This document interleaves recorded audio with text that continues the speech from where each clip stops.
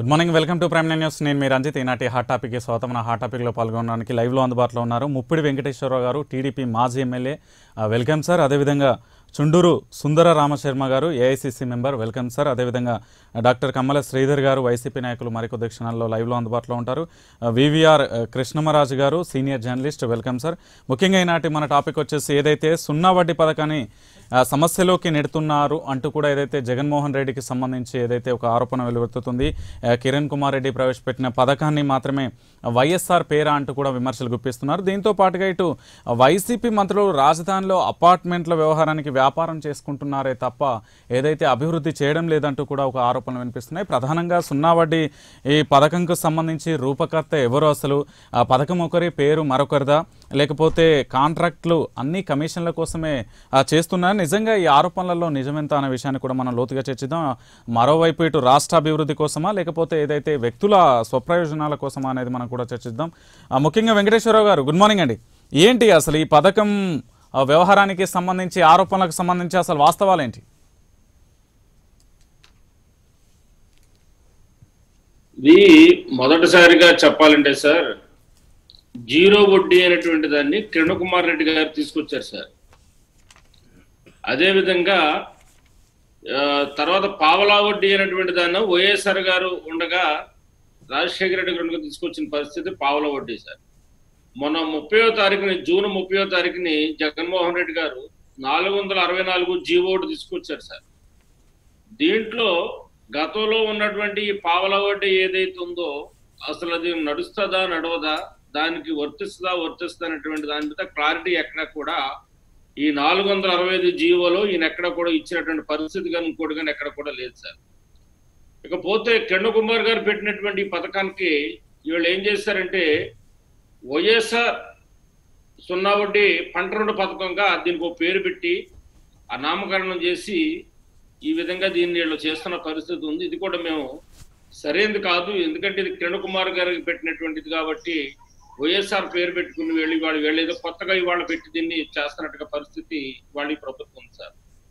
అంతేకాకుండా ఇవాళ గత ప్రభుత్వంలో కూడా అన్నదాత సుఖీభావ పేరుతోటి కేంద్ర ప్రభుత్వం ఆరు వేల రూపాయలు ఇచ్చినట్లయితే రాష్ట్ర ప్రభుత్వం తొమ్మిది వేల రూపాయలు ఇచ్చి మొత్తం పదిహేను వేల రూపాయలు ఈ రాష్ట్రంలో ఉన్నటువంటి రైతు సోదరులందరూ కూడా ఇవ్వడం కూడా జరిగింది సార్.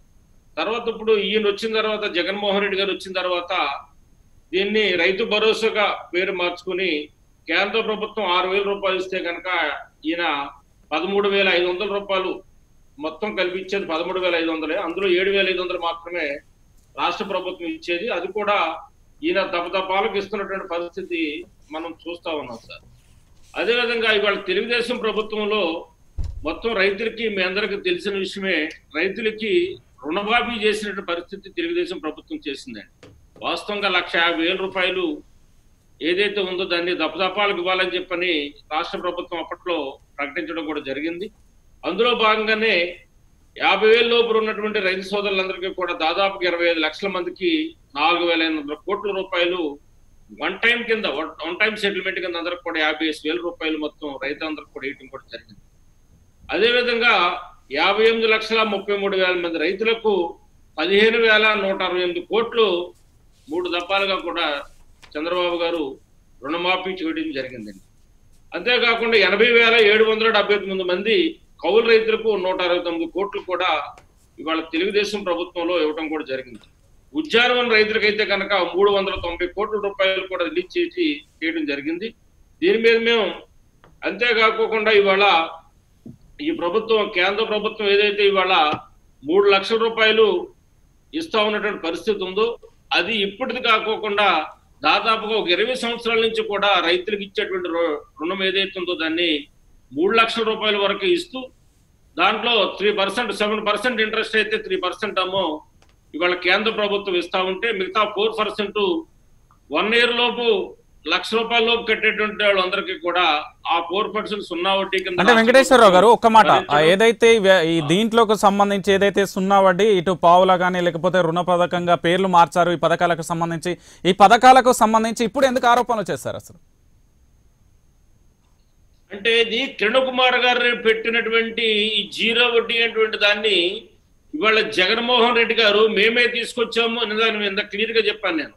ఏదైతే ఇవాళ కిరణ్ కుమార్ గారు పెట్టినటువంటి పథకానికి రాజశేఖర రెడ్డి గారు సున్నా వడ్డీ పథ అది పంట రుణంగా వీళ్ళ పథకంగా నామకరణం చేసుకుని వాళ్ళ వీళ్ళు వాడుకుంటున్నటువంటి పరిస్థితి ఉంది. అందుకని చెప్తాను వీళ్ళు కిరణ్ కుమార్ గారు పెట్టినటువంటిది ఇది. ఇవాళ జగన్మోహన్ రెడ్డి గారు పెట్టినటువంటిది కాదు అని చెప్తున్నటువంటి రైట్ రైట్ రైట్ ఒక్క నిమిషం అండి. రైట్ సుందర శర్మ గారు. శర్మ గారు గుడ్ మార్నింగ్ అండి. ఏంటి అసలు ఇక్కడ ఏదైతే సున్నా వడ్డీ లేకపోతే పావులా వడ్డీ రుణాలకు సంబంధించి పథకాలలో మార్పులు చేర్పులు జరిగాయి అంటూ కూడా ఏదైతే ఆరోపణలు వినిపిస్తున్నాయి దీనికి సంబంధించి తెలుగుదేశం పార్టీ పూర్తిగా కూడా ఇటు వైసీపీ ప్రభుత్వంపై ఆరోపణ చేస్తుంది. అసలు కాంగ్రెస్ ప్రభుత్వంలో ఈ పథకానికి సంబంధించి విధి విధానాలు ఎలా ఉండేవి? అంటే ఇక్కడ మొదట ఆ రోజున కాంగ్రెస్ పార్టీ తీసుకొచ్చినటువంటి అన్ని పథకాలు ఆరోగ్యశ్రీ కావచ్చు పింఛన్లు కావచ్చు ఫీజు రీఎంబర్స్మెంట్ కావచ్చు ఇప్పుడు ఈ సున్నా వడ్డీ కావచ్చు లేకపోతే అంతకుముందు రాజశేఖర రెడ్డి గారి పావలా వడ్డీ కావచ్చు ఇవన్నిటినీ కూడా రైతు రుణమాఫీ కావచ్చు ఉచిత విద్యుత్ కావచ్చు ఇవన్నీ కూడా రెండు వేల నాలుగు నుంచి రెండు వేల పద్నాలుగు వరకు ఆ రాజశేఖర రెడ్డి గారు తర్వాత రోషయ్య గారు కిరణ్ కుమార్ రెడ్డి గారు తీసుకొచ్చినటువంటి పథకాలు. ఇక్కడ ఏంటంటే ఇవాళ ఈ పథకాల పేర్ల కోసం కొట్టుకోవటం అనేటువంటిది తెలుగుదేశం పార్టీ వాళ్ళు చేస్తా ఉన్నారు. ఇప్పుడు మేము మొదట ఒకటి చెప్పేది ఏంటంటే అసలు ఆ రాజశేఖర్ రెడ్డి గారు తెచ్చినటువంటిది పథకాలన్నీ కాంగ్రెస్ వేరు. అయితే ఇవాళ వైఎస్ఆర్ కాంగ్రెస్ పార్టీ రాజన్న అని చెప్పానండి ప్రతిదీ కూడా వాళ్ళ ఖాతాలో వాళ్ళు వేసుకుంటున్నారు. ఇప్పుడు వీళ్ళు కొత్తగా జీరో పర్సెంట్ జీరో వడ్డీకి వచ్చేసరికి కిరణ్ కుమార్ రెడ్డి గారి పేరు పెట్టాలి అని పాపం వీళ్ళు ఇప్పుడు వస్తున్నారు. మరి అది ఆ పని వాళ్ళు అప్పుడే చేస్తుంటే పోయేదిగా? మరి ఎప్పుడు ఎందుకు చేయలేదు తెలుగుదేశం పార్టీ వాళ్ళు? ఇప్పుడు వీళ్ళకి వచ్చి. అంటే ఇక్కడ మేము చెప్పేది ఏంటంటే ఒకటి పథకాలు అనేటువంటిది పేర్లు పెట్టుకోవటం ఆ తర్వాత వచ్చే ప్రభుత్వం ఆ పేర్లను తీసేయటం ఇది సరిగ్గా లేదు. ఇంకొకటి కూడా నేను ఏమని చెప్తున్నానంటే ఇవాళ ఈ సున్నా వడ్డీ గురించి ఇవాళ తెలుగుదేశం పార్టీ మాట్లాడేటువంటి దాంట్లో మొదటి నుంచి కూడా ఒక ఇది ఉంది. ఇందాక రుణమాఫీ అన్నారు. యాక్చువల్గా వాళ్ళ మేనిఫెస్టోలో చెప్పినప్పుడు రైతు రుణమాఫీ అనేటువంటిది ఎనభై తొమ్మిది వేల కోట్లు అటు ఇటుగా. ఆ రోజున ఎలక్షన్ కమిషన్ వీళ్ళకి ఒక లెటర్ రాసింది. ఇది మీ వల్ల సాధ్యం అవుతుందా అని చెప్పాను. అప్పుడు ఏమన్నారంటే నేను చాలా సీనియర్ మోస్ట్ నాకు ఉన్నటువంటి అనుభవం వీటితో నేను తీరుస్తాము అన్నారు. ఆ తర్వాత రుణమాఫీ ఎంతగా తీసుకొచ్చారంటే అటు ఇటుగా పదిహేను వేల కోట్లు మాత్రమే చేశారు. లక్ష రూపాయలు లక్షన్నరకు తగ్గించి తర్వాత ఆ రైతు దీంట్లో నాలుగైదు చివరి కిస్తా ఇన్స్టాల్మెంట్లు వీళ్ళు ఇవ్వలే. ఇవ్వకపోతే కాంగ్రెస్ పార్టీ తరఫున నేనే కోర్టుకు కూడా వెళ్ళటం జరిగింది. వెళితే కోర్టు కూడా జీవో ఉన్నది కాబట్టి ఆపరేషన్లో ఇవ్వండి అని చెప్తే సరే వాళ్ళ జీవో తర్వాత ఇచ్చేసి క్యాన్సిల్ చేశారు అంటే ఇప్పుడు నేను చెప్పేది ఏంటంటే వీళ్ళు ఆ రోజున రైతు రుణమాఫీ గురించి ఏం చెప్పారో అది ప్రజలకి సరిగ్గా ఇవ్వలేదు. తర్వాతన ఈ రైతు మన సున్నా పర్సెంట్ దీని మీద కూడాను మరి నిజంగా ముఖ్యమంత్రి గారు ఆ రోజు శాసనసభలో చెప్పింది కరెక్టా? లేకపోతే వీళ్ళ అని అంటే ఆయన కూడా ఏమని చెప్పాడంటే పదకొండు వేల ఆరు వందల కోట్ల రూపాయలు కట్టాల్సినటువంటి ఈ జీరో పర్సెంట్ ఏదైతే ఉందో వడ్డీది వీళ్ళు ఓన్లీ ఆరు వందలే కట్టారు వాళ్ళు ఐదు సంవత్సరాల్లో అని చెప్పి ఆయన చెప్పారు. ఆ వీళ్ళు ఏమైనా లేదు లేదు మేము కట్టామని ఇప్పుడు ఆయన కూడా ఏదో లక్ష రూపాయలు వీటికి లెక్క చెప్తున్నారు. అంటే దీన్ని బట్టి మొత్తం మీద ఏంటంటే ఇంతకు ముందున్న ఐదు సంవత్సరాల్లోనూ కూడా రైతులకు సరైనటువంటి న్యాయం జరగలేదు అనేటువంటిది మనకు తెలుసు. అయితే ఇవాళ వీళ్ళు చేస్తున్నటువంటిది ఇప్పుడు వైసీపీ వాళ్ళు చేస్తున్నటువంటి దాని ప్రకారం ఇక్కడ ఒక్కటే ఒకటి ఇవాళ రాజశేఖర రెడ్డి గారు పేరు పెట్టుకోవటం దానికి మాకు కూడా కొంత అభ్యంతరాలు ఉన్నప్పటికీ ఎందుకంటే కాంగ్రెస్ పార్టీ ఆయన రాజశేఖర రెడ్డి గారు అంటేనే కాంగ్రెస్ కాంగ్రెస్ అంటేనే రాజశేఖర రెడ్డి గారు. అటువంటి పరిస్థితుల్లో ప్రతిదానికి ఆయన పేరు పెట్టుకోవటం రేపు పొద్దున్న ఏమవుతుందంటే ప్రతిదానికి కూడా ఈ పథకాలకి పేర్లు పెట్టక్కర్లా. ఇది సున్నా వడ్డీ పథకం రైతు రైతు సున్నా వడ్డీ పథకం అని పెట్టండి రైతులకి ఇవ్వండి ఈ ప్రతిదానికి ఇట్లా వైసీ వైఎస్ఆర్ వైఎస్ఆర్ పెట్టడం మూలకంగా కూడా కొన్ని ఇబ్బందులు ఉన్నాయి. ఎందుకంటే ఇప్పుడు అన్నా క్యాంటీన్ అన్నా సృజల సవంత ఏదో ఇట్లా పెట్టారు. అవన్నీ ఉన్నాయా ఇవాళ రోజున? లేవు. ఈవెన్ చంద్రబాబు నాయుడు గారే సరిగ్గా చేయలేదు అవన్నీ కూడా. కాబట్టి నాయకుల యొక్క పేర్లు పెట్టుకొని ఆ తర్వాత ఆ పథకాలు కనుక మనం కంటిన్యూ చేయకుండా లేదా వాటిల్లో వచ్చేటువంటి లోపాలతో తర్వాత మీరే కంటిన్యూ చేయకపోతే కూడా ఆ ప్రభుత్వాలకే చెడ్డ పేరు వస్తుంది. మేము ఎంతసేపటికి కూడా రా- రా- మన రా- రాజశేఖర రెడ్డి గారి టైం కానీ రోసయ్య గారు కానీ కిరణ్ కుమార్ రెడ్డి గారు ఎంతసేపటికి మా జాతీయ నాయకుల పేర్లు పెట్టుకున్నాం. రాజీవ్ గాంధీ గారి పేరు కానీ ఇందిరాగాంధీ పేరు కానీ ఇవి పెట్టుకున్నాం. అయితే ఇప్పుడు వైసీపీ వాడు రాజశేఖర రెడ్డి గారి పేరు పెట్టున్నారు. రాజశేఖర రెడ్డి గారి పేరు పెట్టమంటే కాంగ్రెస్ పార్టీ పేరు పెట్ట పెట్టుకోవటమే. సరే వాళ్ళ పార్టీలో కూడా చివరిలో కాంగ్రెస్ ఉంది కాబట్టి మేము కూడా అటు చూసి చూడనట్టు ఊరుకుంటున్నాం. ఎందుకంటే మా పేర్లే కదా మా పథకాలే కదా అని. కాకపోతే తెలుగుదేశం పార్టీకి మాత్రం ఇవాళ రైతుల గురించి మాట్లాడేటువంటి హక్కు ఎంత మట్టుకు ఉంది నైతిక హక్కు అనేటువంటిది వాళ్ళు ఆలోచన చేసి తీరాల్సిందే. ఎందుకంటే రైతులు చాలా ఇబ్బందులు పడిన మాట వాస్తవం. రైతు రుణమాఫీ అవి సరిగా జరగలేదు. ఆ రోజున వాళ్ళకి ఇవ్వవలసినటువంటి ఇప్పుడు. వడ్డీ కానివ్వండి డ్వాక్రా అనేది ఇవన్నీ కూడా జరగని మాట కాబట్టి ఇవాళ కిరణ్ కుమార్ రెడ్డి గారి పేరు పెట్టాలా? లేకపోతే రాజశేఖర రెడ్డి గారి పేరు పెట్టాలా? ఈ పథకాలతో కాదు అసలు నిజంగా సున్నా ఈ పథకం కరెక్ట్గా ఇంప్లిమెంట్ అయ్యి రైతులకు చేరుతుందా లేదా అనేది కూడా మాకు కావాలి. ఇంకా వాళ్ళ విజ్ఞతగా వదిలేస్తాం కిరణ్ కుమార్ రెడ్డి గారి పేరు పెట్టుకుంటారా? ఎన్టీ రామారావు గారి పేరు పెట్టుకుంటారా? మాకు పేర్లతో పని లేదు. కానీ ఇది తీసుకొచ్చిన కిరణ్ కుమార్ రెడ్డి గారని తెలుగుదేశం వాళ్ళు కూడా చెప్పినందుకు మాత్రం ధన్యవాదాలు వాళ్ళకి. Right right. రైట్ ఐదు సంవత్సరాలు గుర్తులేదు కానీ ఇప్పుడు గుర్తు తెచ్చుకున్నందుకు మనకు వాళ్ళకి ధన్యవాదాలు. రైట్ రైట్ శ్రీధర్ గారు ఏదైతే మీపై వస్తున్న ఆరోపణలకు సంబంధించి ఎలాంటి సమాధానం చెప్తారు? ఈ సున్నా వడ్డీ కానీ పావుల వడ్డీ కానీ పథకాల పేరులో మార్పులు ఆ, చేస్తున్నారు. మీ ఏ పార్టీ మారితే ఆ పార్టీకి సంబంధించి అనుకూల వ్యక్తుల యొక్క పేర్లు పెడుతున్నారని. ఇప్పుడు స్వర్గీయ వైఎస్ఆర్ మహానేత దివంగత నేత ఆయన అనేక విప్లవాత్మక మార్పులు తీసుకొచ్చారు. రెండు వేల నాలుగులో ఎప్పుడైతే అధికారంలోకి వచ్చారు ఊహించిన విధంగా ఉచిత విద్యుత్ కానీ రైతులకు సంబంధించి కానీ అయితే ఆ సమయంలో ఒక రూపాయి వడ్డీ ఉండే వడ్డీ ఉండేదండి. అయితే దాన్ని రెండు వేల తొమ్మిదిలో కిరణ్ కుమార్ రెడ్డి గారి రోజుల్లో దాన్ని పావుల వడ్డీకి మార్చడం జరిగింది. దా అది వాస్తవమే. దాన్ని దాని తప్పటి లేదు. వైఎస్ఆర్ గారు కూడా అసలు పార్టీలకు అతీతంగా ఎదిగినటువంటి ప్రజాదరణ పొందినటువంటి గొప్ప నాయకుడు. ఆయన సమయం లోపల ఉన్నటువంటి వాటిని తగ్గిస్తూ వచ్చింది. వచ్చిన తర్వాత నెక్స్ట్ వచ్చిన గవర్నమెంట్ దాన్ని ఎందుకో మరి దాన్ని సీత కన్నేసి రెండు వేల పదహారు జూన్ లోపల దాన్ని రద్దు చేయడం జరిగింది. ఆ విధంగా వారికి బాకీలు పెరిగిపోవడం కానీ వడ్డీలు పెరిగిపోవడం కానీ అపరాధ రుసుము చెల్లించాల్సిన అవసరం కానీ ఏర్పడ్డది. మీరు గమనిస్తే ఎంత బకాయి ఉంచింది గత ప్రభుత్వం రెండు వేల పద్నాలుగు నుంచి పంతొమ్మిది వరకు? అంటే ఆల్మోస్ట్ పంతొమ్మిది వందల అరవై ఏడు కోట్లు. దాంట్లో ఆరు వందల ఎనభై ఐదు మాత్రం అంటే ఒక పదకొండు వందల కోట్లు చెల్లించకుండా వెళ్ళిపోయారు. ఓకే. ఆ బాకీ ఎవరు కట్టాల్సి వచ్చింది? మా ప్రభుత్వం కట్టాల్సి వచ్చింది. ఆయన అసలు అధికారం పోయేటప్పుడు చంద్రబాబు నాయుడు గారు ఖజానా ఖాళీ చేశారు. నలభై వేల రూపాయలు బకాయిలు పెట్టారు. సున్నా వడ్డీ దీనికి కూడా అసలు దాన్ని అమలు చేయకపోవడం వల్ల ఆల్మోస్ట్ పదకొండు వందల బకాయి కోట్లు బకాయిలు వచ్చినాయి. ఆ బకాయిలు మేమే కట్టాం. అది కూడా ఎప్పుడు జూలై అవుతున్నాడు బకాయిలు రిలీజ్ చేశారు. మళ్ళీ ఈ పథకంలో ఏటా ఎంత వస్తుందంటే పద్నాలుగు వందల కోట్లు ఖర్చు వస్తుంది. దానివల్ల ఆల్మోస్ట్ ఎనిమిది పాయింట్ తొమ్మిది లక్షల సెల్ఫ్ హెల్ప్ గ్రూప్స్ వాడికి లబ్ధి పొందుతుంది వాళ్ళకి ఎంత దొరుకుతుందంటే ఇరవై వేల నుంచి నలభై వేల వరకు వాళ్ళకి రాయితీ దొరుకుతుంది.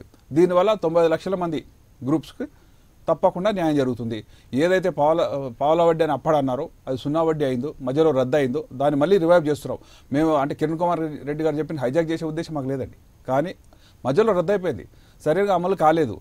రైతు రైతులకు మేలు చేస్తా అని చెప్పి ఒక తప్పుడు హామీతో అధికారానికి వచ్చిన చంద్రబాబు నాయుడు గారు ఏం చేశారు? ఆయన అధికారం రావడానికి కేవలం ఒకటే ఒక కారణం. నేను సంపూర్ణ రుణమాఫీ అన్నారు. మీరు ఎక్కడా వడ్డీలు కట్ట కట్టక్కర్లేదు. నేను చూసుకుంటాను. బ్యాంకులలో ఎట్టి పరిస్థితుల్లో మీరు మిమ్మల్ని వసూలు చేయలేవు. బ్యాంకులు మిమ్మల్ని ఒత్తిడి చేసి నేనున్నాను మీకు. అని చెప్పిన వ్యక్తి అది దాని గురించి ఆయన నమ్మారు. ఆ సమయంలో జగనన్న కూడా చెప్పారండి మనం కూడా ఇట్లా హామీ ఇద్దాం. ఎందుకంటే అది ఇవ్వడం వల్ల ప్రజలు ఆకర్షితులు అవుతున్నారని చెప్పినప్పుడు కూడా మనము అబద్ధం చెప్పలేము.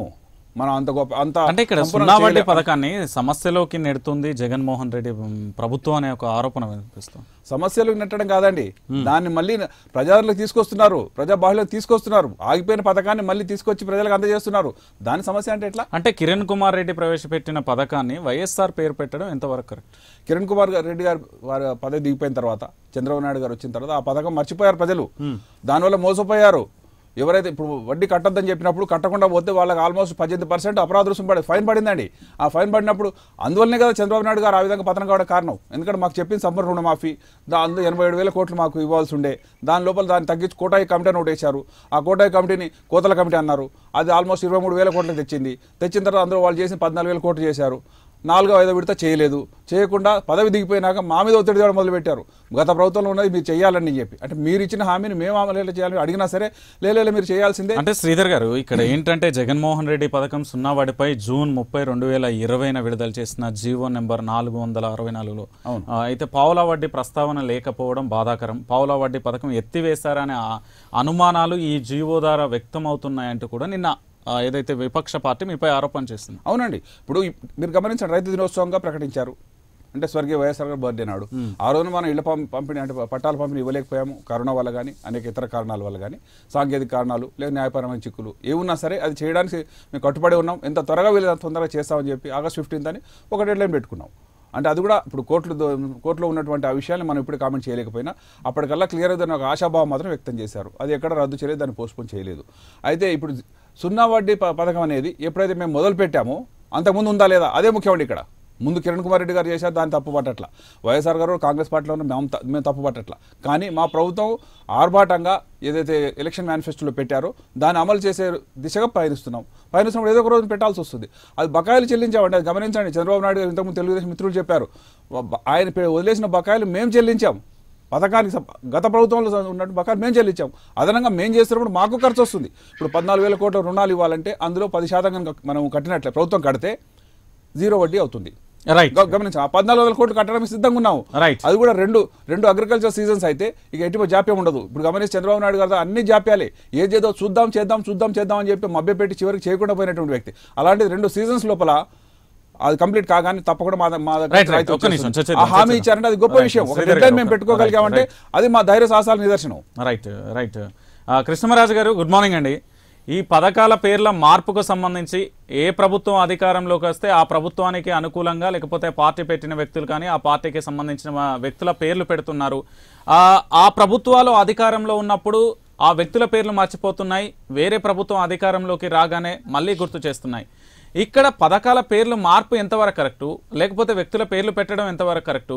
ఎందుకు ఈ పథకాల విషయంలో పేర్ల మార్పుల విషయంలో ప్రతిసారి కూడా ఒక రాద్ధాంతం కానీ ఒక సమస్య కానీ తెర మీదకి వస్తుంది? కారణం ఏంటి? లోపం ఎక్కడ అంటారు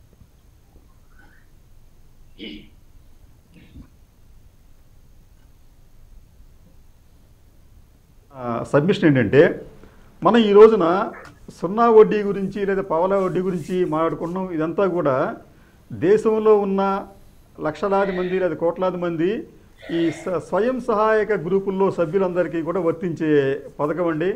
వీ- వీరికి మనం ఈ రోజున ధన్యవాదాలు చెప్పాలి. ఎందుకంటే ఈ కోవిడ్ మహమ్మారి నేపథ్యంలో ఈ కోవిడ్ని నిరోధించే కార్యక్రమంలో ఈ మహిళలు చేస్తున్న ఒక కార్యం అనేది అత్యంత అద్భుతం ఆదర్శనీయం అండి అది. ఈ మన మన భారతదేశానికి వచ్చేటప్పటికి సుమారు ఏడు కోట్ల గ్రూపులు ఉన్నాయండి. అట్లాగే ఆ, దీ- వీటిలో వీటిలో ఉన్న మహిళలంతా కూడా కోవిడ్ స్టార్ట్ అయిన దగ్గర నుంచి మీరు చెప్తే నమ్మరు. దాదాపు మనకి సార్ ఇప్పుడు వీళ్ళు సుమారుగా మూడు కోట్ల మాస్కులు తయారు చేశారండి. ఇది మనం ఈ పా ఈ సున్నా వడ్డీకి ఎవరు వర్తిస్తుంది అనుకుంటున్నాం వాళ్ళు? మూడు కోట్ల మాస్కులు తయారు చేశారు. అలాగే నాలుగు పాయింట్ ఐదు కోట్ల లీటర్ల శానిటైజర్లు తయారు చేశారండి. అట్లాగే మూడు లక్షల పీపీఎల్ తయారు చేశారు. అంటే మనకి కోవిడ్ సంక్షోభం స్టార్ట్ అయినప్పుడు అసలు మాస్కులు కూడా దొరక్క మనకి చాలా ఏమైనా గురైనాం మనం. తర్వాత పీపీఎస్ మనకు అందుబాటులో ఉంటాయో లేవో అని చెప్పి అనుకున్నాం. కానీ ఇవన్నిటిని కూడా అధిగమించడంలో ఈ స్వయం సహాయక గ్రూపుల పాత్ర అత్యంత ప్రశంసనీయం. ఇది మనం అందరూ కూడా ఒకసారి వాళ్ళందరికీ కూడా మనం ధన్యవాదాలు తెలియజేద్దామండి. అలాగే దీనికి సంబంధించి మీరు అసలు విషయానికి వచ్చేటప్పటికి పథకాల పేర్లు వచ్చేటప్పటికి ఒకటి ఒకటేనండి. ఇక్కడ అంశం ఏంటంటే కేంద్ర ప్రభుత్వం కూడా లక్షలాది కోట్ల రూపాయల పథకాలని సంక్షేమ పథకాలని ప్రవేశపెడుతుంది కానీ వాటికి వ్యక్తుల పేర్లు అది కూడా ఎవరు చెప్తున్నారండి? చనిపోయిన వ్యక్తుల పేర్లకు వారి గౌరవార్థం కొన్ని కొన్ని కొంతమంది. నా దేశంలో కేంద్రానికి వచ్చినప్పటికి రెండు మూడు ఇద్దరు ముగ్గురు పేర్లు మాత్రమే పథకాలకు పెడుతున్నారు అక్కడ. దీనదయాళ్ళు ఆ పేరు ఒకటి లేదా అట్లా వాజ్పేయి గారి పేరు ఒకటి ఇట్లా పెడుతున్నారండి. కానీ రాష్ట్రాలకు వచ్చేటప్పటికి బతికున్న వారి పేర్లు కూడా ఈ సంక్షేమ పథకాలకు పెట్టడం అనేది కాస్త ఇది ఇబ్బందికరంగానే ఉంటుంది అది. నిజానికి ఏంటంటే ఇదంతా కూడా మీరు నేను మనందా మనందరూ పే పే చేస్తున్న ట్యాక్స్ నుంచి వస్తున్న డబ్బుల్ని మీరు ఖర్చు పెడుతున్నారు. మనం ఇస్తున్న డబ్బులకి వారి పేర్లు పెట్టుకోవడం ఎందుకండి? మీరు పెడితే మీరు ఆదర్శనీయమైన వ్యక్తుల పేర్లు పెట్టుకోండి. చంద్రన్న పథకం వైఎస్ఆర్ భరోసా లేకపోతే జగనన్న ఆపన్నాస్తం మీ పేర్లు ఎందుకు అక్కడ? మీ మీ ఇది ఒకటండి వీళ్ళు గుర్తుంచుకో గుర్తుంచుకోవాల్సిన విషయం అంటే ప్రభుత్వాలు అనేవి ఇవి పబ్లిక్ లిమిటెడ్ కంపెనీలు అండి ప్రైవేట్ లిమిటెడ్ కంపెనీలు కాదు. మీరు కావాలనుకుంటే మీ కంపెనీలు ఉన్నాయి వాటి వాటికి వాటి ద్వారా మీకు మీకు వాటి ద్వారా మీకు కొంత కార్పొరేట్ సోషల్ రెస్పాన్సిబిలిటీ స్కీమ్స్ ఉంటాయి. దాని ద్వారా మీరు కొంత ఖర్చు పెట్టండి. దానికి మీకు మీ పేర్లు పెట్టుకోండి అభ్యంతరం లేదు. కానీ మీరు సజీవంగా ఉంటున్నారు మీ మీ పేర్లు పెడుతున్నారు ప్రచారం చేసుకుంటారు మళ్ళీ ఈ ప్రచారానికి వెళ్ళి పేపర్లోను టీల్లో టీవీలోను యాడ్స్ ఇవ్వడానికి మళ్ళీ కోట్లాది రూపాయలు ఖర్చు పెడుతున్నారు. కూడా వేస్ట్ అవుతుంది? ఆదర్శనీయమైన దివంగత చనిపోయిన కీర్తిశేషులు అయి ఉండి ఆదర్శనీయంగా ఉండే వాళ్ళ పేర్లు పెట్టడం తప్పేం కదా అది. కృష్ణమరాజు గారు ఒక్క మాట. కీర్తి కండూతి లేకపోతే ప్రచారం ఈ- ఈ ప్రచారం చేసుకోవాలనే భావన అనేది మంచి ఏ ప్రభుత్వానికి మంచిది కాదండి ఏ వ్యక్తి కూడా మంచిది కాదు. కృష్ణమరాజు గారు ఇక్కడ పథకం ఒకరిది పేరు మరొకరిది. సున్నా వడ్డీ పథకం రూపకర్త జగన లేకపోతే కిరణ్ మోహన్ రెడ్డి అనే ఒక ఏదైతే విపక్ష పార్టీల విమర్శలకు సంబంధించి ఎందుకు ఈ విమర్శలు ఇప్పుడు వచ్చాయని భావించవచ్చు? సార్ ఇక్కడ ఈ- ఈ పథకం అనేది కిరణ్ గారిది కాదండి లేకపోతే వైఎస్ గారిది కాదు చంద్ర బాబు గారిది కాదండి ఈ ప్రజల ప్రభుత్వ ఈ ఈ ప్రభుత్వ పథకాలండి. ఆ రాష్ట్ర ప్రభుత్వాల పథకాలు. ఇంకోటి ఏంటంటే దానిని ఆలోచించి స- మొట్టమొదటి పావలా వడ్డీ అనే అనే పావలా వడ్డీ అనే పథకాన్ని శ్రీకారం చుట్టింది వైఎస్ రాజశేఖర రెడ్డి గారు. తర్వాత దాన్ని సున్నా వడ్డీకి మార్చింది మాత్రం GO number six three nine గుర్తుంచుకోండి sir. GO number six three nine ద్వారా ఆయన దాన్ని పావలా వడ్డీకి మార్చారు ఆయన. జీరో ఇంట్రెస్ట్కి మార్చారు. కాబట్టి ఏంటంటే ఆయన ప్రభుత్వంలో నుంచి దీన్ని ఇంప్లిమెంట్ చేశారండి. మీకు ఇంకో విషయం ఏంటంటే మీకు వైఎస్ఆర్ హయాంలో ఈ మన పావలా వడ్డీ కింద ఆయన చెల్లించిన అమౌంట్ ఎంతంటే ఈ స- స్వయం సహాయ గ్రూపులకి రెండు వందల అరవై ఏడు కోట్ల రూపాయలండి. అయితే ఆయన ఆయన చనిపోయే నాటికి బకాయిలు అంటే ఆయన ప్రభుత్వం నుంచి ప్రభుత్వం ఆయన ప్రభుత్వం నుంచి పక్కకు తప్పుకున్న తర్వాత వచ్చిన కిరణ్ కుమార్ రెడ్డి గారికి వచ్చేటప్పటికి తొంభై కోట్ల రూపాయలు బకాయి ఉంది. అట్లా కిరణ్ కుమార్ రెడ్డి గారు రెండు వేల ముప్పై తొమ్మిది కోట్ల రూపాయలు ఈ ఈ- ఈ పావల జీరో ఇంట్రెస్ట్గా ఆయన పే చేస్తే ఆయన వెళ్ళేటప్పటికి ఏడు వందల కోట్ల రూపాయలు బకాయి ఉందండి. టీడీపీకి వచ్చేటప్పటికి రెండు వేల ఐదు వందల పద్నాలుగు కోట్ల రూపాయలు వాళ్ళు పే చే పే చేస్తే ఇంకా ఆరు వందల ఆరు వందల కోట్ల రూపాయలు బకాయిలు ఉన్నాయి. ఇప్పుడు ఏంటంటే ఇప్పుడు ఈ పాత బకాయిలు చెల్లించుకుంటూ ఇప్పుడు వైఎస్ జగన్మోహన్ రెడ్డి ప్రభుత్వం వైఎస్ఆర్సీపీ ప్రభుత్వం పద్నాలుగు వందల కోట్ల రూపాయలు పే చేస్తామని చెప్పి అంటుంది. అలాగే రైతులకు కూడా ఇప్పుడు మేము పదకొండు వందల యాభై కోట్ల రూపాయలు పే చేస్తామని చెప్పి అంటుందండి. అయితే మీరు పే చేయండి. కానీ ఇవన్నీ కూడా గుర్తుంచుకోవాల్సింది ఏంటంటే ఇవన్నీ కూడా ప్రభుత్వానికి చెందిన పథకాలండి. ఈ వ్యక్తులకు సంబంధించిన పథకాలు కాదు. ఈ ఈ ఈ నిధులన్నీ కూడా మీరు నేను మనమంతా ఇస్తున్న నిధులు మాత్రమే. ఆ విషయం మీరు గుర్తు ఏ ప్రభుత్వం గారు ఇక్కడ ఇక్కడ టీడీపీ ఆరోపిస్తున్నట్లుగా టీడీపీ ఆరోపిస్తున్నట్లుగా కిరణ్ కుమార్ రెడ్డి ప్రవేశపెట్టిన పథకానికి వైఎస్ఆర్ సున్నా వడ్డీ పంట రుణ పథకంగా నామకరణం చేయడం సరికాదు అని ఇప్పుడు ఆరోపణ చేస్తోంది. ఈ ఆరోపణను మనం ఏ విధంగా భావించవచ్చు? ఒకటండి ఇప్పుడు ఇక్కడ ఒక అంశం ఏంటంటే పథకాలు పేర్లు ఎవరైనప్పటికీ కూడా రైతులకు సున్నా వడ్డీ పేరుతో ఒక ఒక వెయ్యి నూట యాభై కోట్ల రూపాయలు ఇస్తామని చెప్పి అంటే మొన్న మొన్న ఖరీఫ్ సీజన్ వరకు చేసిన దానికి ఇస్తామని చెప్పి చెప్పడం అనేది బహుశా భారతదేశంలో మొత్తం నేను రాత్రంతా చూస్తేనండి ఎక్కడ ఏది ఏ రాష్ట్రం కూడా ఈ ఇటువంటి సదుపాయం కల్పించలేదు. ఇది రకంగా కాస్త రైతులకు ఊరట కలిగించే అంశమే. అయితే మీకు స్వయం సహాయక గ్రూపులకు వచ్చేటప్పటికి ఒక వెయ్యి నాలుగు వందల కోట్ల రూపాయలు ఇస్తామని చెప్పి చెప్తుంది. నిజానికి మన రాష్ట్రంలో ఉన్న గ్రూపులతో పోలిస్తే అంటే సుమారు మనకి అది ఎనిమిది ఎనిమిది పాయింట్ ఏడు ఎనిమిది లక్షల గ్రూపులు ఉంటే దీన్ని మనం ఈ పద్నాలుగు వందల కోట్ల రూపాయలతో మనం డివైడ్ చేస్తే ఒక్కో గ్రూపుకి లభించే లబ్ధి కేవలం ఒక వెయ్యి ఆరు వందల రూపాయలు మాత్రమేనండి. తర్వాత ఈ రైతులకు ఇచ్చే సున్నా వడ్డీకి సంబంధించి మనం ఇంకో విషయం గమనిస్తే లక్ష రూపాయల వరకు మాత్రమే వర్తిస్తుందండి అది. అది కూడా ఏంటి? వాడు సక్రమంగా పే చేస్తేనే రైతులు అంటే ఖరీఫ్ తీసుకున్న రుణాన్ని మళ్ళీ లేకపోతే రబీకి తీసుకున్న రుణాన్ని సకాలంలో తిరిగి చెల్లింపు చేసినప్పుడు మాత్రమే లక్ష రూపాయల వరకు మాత్రమే ఇది ఇంట్రెస్ట్ అనేది తిరిగి వాళ్ళకి వాళ్ళ అకౌంట్లోకి వెళ్తుంది. కాబట్టి ఇవన్నీ మనం గమనించుకుంటే అల్టిమేట్గా చెప్పేది అంటే ఈ రాజకీయ నాయకులు ఈ ప్రభుత్వానికి ఎవరు వస్తున్నారో వాళ్ళు తమ కీర్తి ప్రతిష్టలకు లేకపోతే వ్యక్తిగత ప్రతిష్టలకు పోకుండా జెన్యున్గా ఈ సమస్యల పరిష్కారానికి కృషి చేయాలి. ఈ స్వయం సహాయ గ్రూపులు కావచ్చు లేకపోతే రైతులు కావచ్చు వీరందరూ కూడా దేశానికి వెనుముకల్లో ఉన్నారండి దేశ ఆర్థిక పురోభివృద్ధికి ఎంతో పాటుపడుతున్నారు. కాబట్టి వారికి నిస్వార్థంగా పనిచేయమని చెప్పండి. షరతులు షరతులు లేకుండా మీరు ఇప్పుడు మీరు లక్ష రూపాయలు మీరు లోన్ ఇచ్చాం మీకు బ్యాంక్ లోన్ ఇస్తుందండి. ఆ సకాలంలో పే చేస్తాను మీకు ఇది వర్తిస్తుందని చెప్పి చెప్పడం అనేది అంత భావ్యం కాదు. ఎందుకంటే రైతులు రకరకాల కారణాలతో సకా సమయానికి లోన్లు తిరిగి పే చేయలేకపోతున్నారు. వర్షాభావం కావచ్చు అతివృష్టి కావచ్చు అనావృష్టి కావచ్చు ఏదైనా కావచ్చు అండి రైట్ వెంకటేశ్వరరావు గారు ఏదైతే కిరణ్ కుమార్ రెడ్డి పేరు పెట్టడం ఇప్పుడు సరికాదని మీరు ఆరోపణలు చేసినప్పుడు మీ ప్రభుత్వ హయాంలో ఈ పేరు ఎందుకు గుర్తు రాలేదు? మొదటి పాయింట్. రెండో పాయింట్ వచ్చేసి ఏదైతే మీరు కూడా పేర్ల మార్పు చేయలేదా? అన్నా కానీ లేకపోతే ఎన్టీఆర్ పేర్ల మీద కూడా అనేక పథకాలను పెట్టారు. మరి అలాంటప్పుడు ఇప్పుడు ప్రశ్నించే ప్రశ్నించడం ఎంతవరకు కరెక్ట్ అంటారు? ఒక్క చిన్న మాట రంజిత్ గారు. చెప్పండి చెప్పండి. ఇవాళ తెలుగుదేశం ప్రభుత్వం వచ్చిన తర్వాత లేకపోతే ఎన్టీ రామారావు గారు ముఖ్యమంత్రి అయిన తర్వాత చంద్రబాబు గారు ముఖ్యమంత్రి అయిన తర్వాత కేవలం ఈ పేర్లు పెట్టుకోవటం అటువంటిది లేదండి.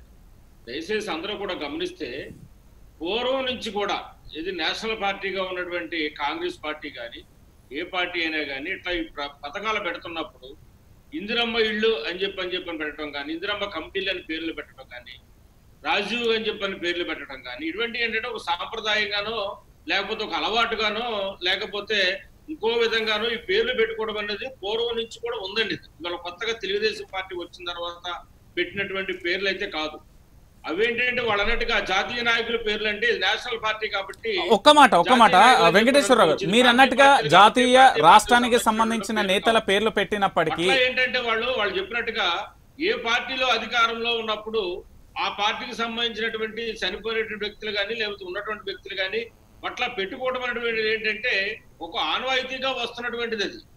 అది ఎవరో కూడా దాన్ని ఇచ్చేయడం లేదు. ఒక తెలుగుదేశం పార్టీ ఒకటే పెట్టుకోలేదు. రైట్ రైట్ రైట్ మీరు అన్నట్టుగా మీరు అన్నట్టుగా ఓకే ఓకే. ఎందుకంటే ఒక మాట ఒక మాట వెంకటేశ్వరరావు గారు. వెంకటేశ్వరరావు గారు ఒక మాట. మీరు అన్నట్టుగా ఏదైతే జాతీయ రాష్ట్రాలకు సంబంధించి పేర్లు పెడుతున్నారో ఓకే అది అన్ని పార్టీలు పెడుతున్నాయి. ఆ, దాన్ని ఆ విషయాన్ని ఒక్క నిమిషం పక్కన పెడితే ఇప్పుడు మీరు ప్రస్తావించే కిరణ్ కుమార్ రెడ్డికి సంబంధించిన పేరు ఈ పథకాన్ని మీరు రద్దు చేశారు రెండు వేల పదహారు ఇప్పుడు ఎలా మాట్లాడతారంటూ కూడా వైసీపీ మీపై విమర్శలు చేస్తుంది. మరి దీనికి ఏం సమాధానం చెప్తారు? రద్దు చేయటటువంటిది కాదండి. ఒక్కసారి రంజిత్ గారు ఒక్క నిమిషం. చెప్పండి. ఈ రాష్ట్ర ప్రభుత్వం ఇందాక మాట్లాడేటప్పుడు పెద్దలు మాట్లాడారు. రుణమాఫీ గురించి దాని గురించి మాట్లాడారు. చంద్రబాబు గారు రాష్ట్రం విడిపోక ముందు రైతులకు ఇస్తున్నటువంటి రుణమాఫీ గురించి మాట్లాడటం కూడా జరిగింది. రైతులకు ఇచ్చినటువంటి హామీ తర్వాత ఈ రాష్ట్రంలో విడిపోవడం జరిగింది. విడిపోయిన తర్వాత పదహారు వందల కోట్ల రూపాయల అప్పుతోటి పదహారు వేల కోట్ల రూపాయల అప్పుతోటి ఈ రాష్ట్రాన్ని మనకు అప్పుల పాలుగా మనకి ఇచ్చినట్టు పరిస్థితి ఉంటే దాన్ని ఇప్పుడు ఉన్నటువంటి పరిస్థితుల్లో ఉంటాక నీడలేదు కూర్చోటాక కుర్చీ లేనటువంటి పరిస్థితుల్లో ఈ రాష్ట్రం ఉన్నప్పుడు ఆయన బస్సులో ఉండి హైదరాబాద్ ప్రాంతం నుంచి వచ్చేసి అమరావతిలోనే క్యాపిటల్ విజయవాడనే క్యాపిటల్గా ఎంచుకొని అక్కడ సెంటర్ పాయింట్లను బస్సులోనే ఉండి ఆయన పరిపాలన చేస్తున్నటువంటి పరిస్థితుల్లో ఉండి కూడా ఇవాళ చంద్రబాబు గారు అన్ని రకాలుగా కూడా అందరినీ కూడా ఆదుకునే విషయంలో కానీ ఇటు పోలవరం కూడా రైతుల కోసం చేసిన పనేనండి. ఎవరి కోసం కాదు. ఇవాళ పోలవరం కానీ పట్టిసీమ లాంటిది కానీ కానీ తీసుకుని వచ్చి ఇవాళ రైతుల కోసమే నీరన్నీ కూడా ప్రదర్శించడానికి చేసిన ప్రయత్నం కానీ. రైట్ రైట్ వెంకటేశ్వరరావు గారు చర్చ చర్చ మళ్ళీ పక్కదారి పట్టి ఇవ్వకండి చర్చ చర్చ పక్కదారికి పట్టి ఇవ్వకండి ఇక్కడ నేను అడిగిన ప్రశ్నకు సూటిగా సమాధానం చెప్పండి. అంతేకాకుండా ఇవాళ రైతు సోదరులకి వెంకటేశ్వరరావు గారు మినుపులు కానీ వెంకటేశ్వరరావు గారు. ఒక్క నిమిషం సార్ ఒకే ఒక్క నిమిషం ఒక్క నిమిషం. రైతులకు కావాల్సినటువంటిది మినుము గాని పెసర గాని యాభై శాతానికి ఇవ్వడం గాని జీలు జీలు గాని జన్ము గాని పిల్లి పెసర గాని డెబ్బై ఐదు శాతం రైతు సోదరులకు అందరూ కూడా ఇవ్వటం కానీ అంతేకాకుండా వ్యవసాయానికి సంబంధించిన పనిముట్లండి. వ్యవసాయాన్ని సంపా ఏదైతే వ్యవసాయం చేయడం రైతులకు కావాల్సిన పనిముట్లు ఏవైతే ఉన్నాయో ఆ కిట్స్ కానీ పనిముట్లు కానీ డిస్కులు కానీ అన్ని కూడా ఇవాళ రైతు సోదరులందరికీ కూడా ఇచ్చేటువంటి ఘనత తెలుగుదేశం ప్రభుత్వం ఉందండి. అంతేకాకుండా జింకు ముఖ్యంగా రైతులకు కావాల్సిన జింక్ రైట్ వెంకటేశ్వరరావు గారు ఒక్క మాట ఒక్క మాట. మీ ప్రభుత్వాలు చేసిన మీరు చెప్తున్నారు. మీ- మాటలోకి వస్తే మీ మాటలు ఇంకా మనం ఈ రైతుల వ్యవహారానికి సంబంధించి రైతుల వ్యవహారానికి సంబంధించి వెంకటేశ్వరరావు గారు వెంకటేశ్వరరావు గారు ఉమ్మడి ఆంధ్రప్రదేశ్లో ఉన్నప్పుడు ఒక్క నిమిషం ఒక్క మాట. సహకరించిన సహకరించిన బ్యాంకుల ద్వారా డిసిసి బ్యాంకులు కానీ ఆంధ్ర బ్యాంకులు రైట్ రైట్ రైట్. వెంకటేశ్వరరావు గారు ఒక మాట ఒక మాట. ఇంకా మీరు చెప్పినట్టుగా ఇలా మనం చర్చించుకుంటూ వెళ్తే గతంలో చంద్రబాబు వ్యవసాయం దండుగా అన్న విషయం కావచ్చు హైదరాబాద్లో ఏదైతే విద్యుత్ ఛార్జీల పెంపుకు జరిగినప్పుడు అప్పుడు జరిగిన అల్లర్ల గురించి మనం చర్చిస్తే చర్చ మరో దారికి వెళ్తుంది లోతుగా వెళ్తుంది. నేను అడిగిన ప్రశ్న ఏంటంటే కిరణ్ కుమార్ రెడ్డి ఆ పేరుకు సంబంధించి ఇప్పుడు ప్రస్తావనకు రావడానికి కారణం ఏంటి? ఆంతర్యం ఏంటి? దానికి సమాధానం చెప్పండి. పేరు పేర్లు పెట్టు కిరణ్ కుమార్ గారు పెట్టినటువంటి అదే సార్ రంజిత్ గారు. కిరణ్ కుమార్ గారు ప్రవేశపెట్టినటువంటి జీరో వడ్డీ పంట రుణ పథకానికి వీళ్ళు వైఎస్ఆర్ పేరు పెట్టుకున్నారు? అది కరెక్ట్ కాదని చెప్తున్నాం మేము అది. సరే రైట్ సరే. రైట్ రైట్ రైట్ ఒక నిమిషం మీరు సమాధానం చెప్పండి.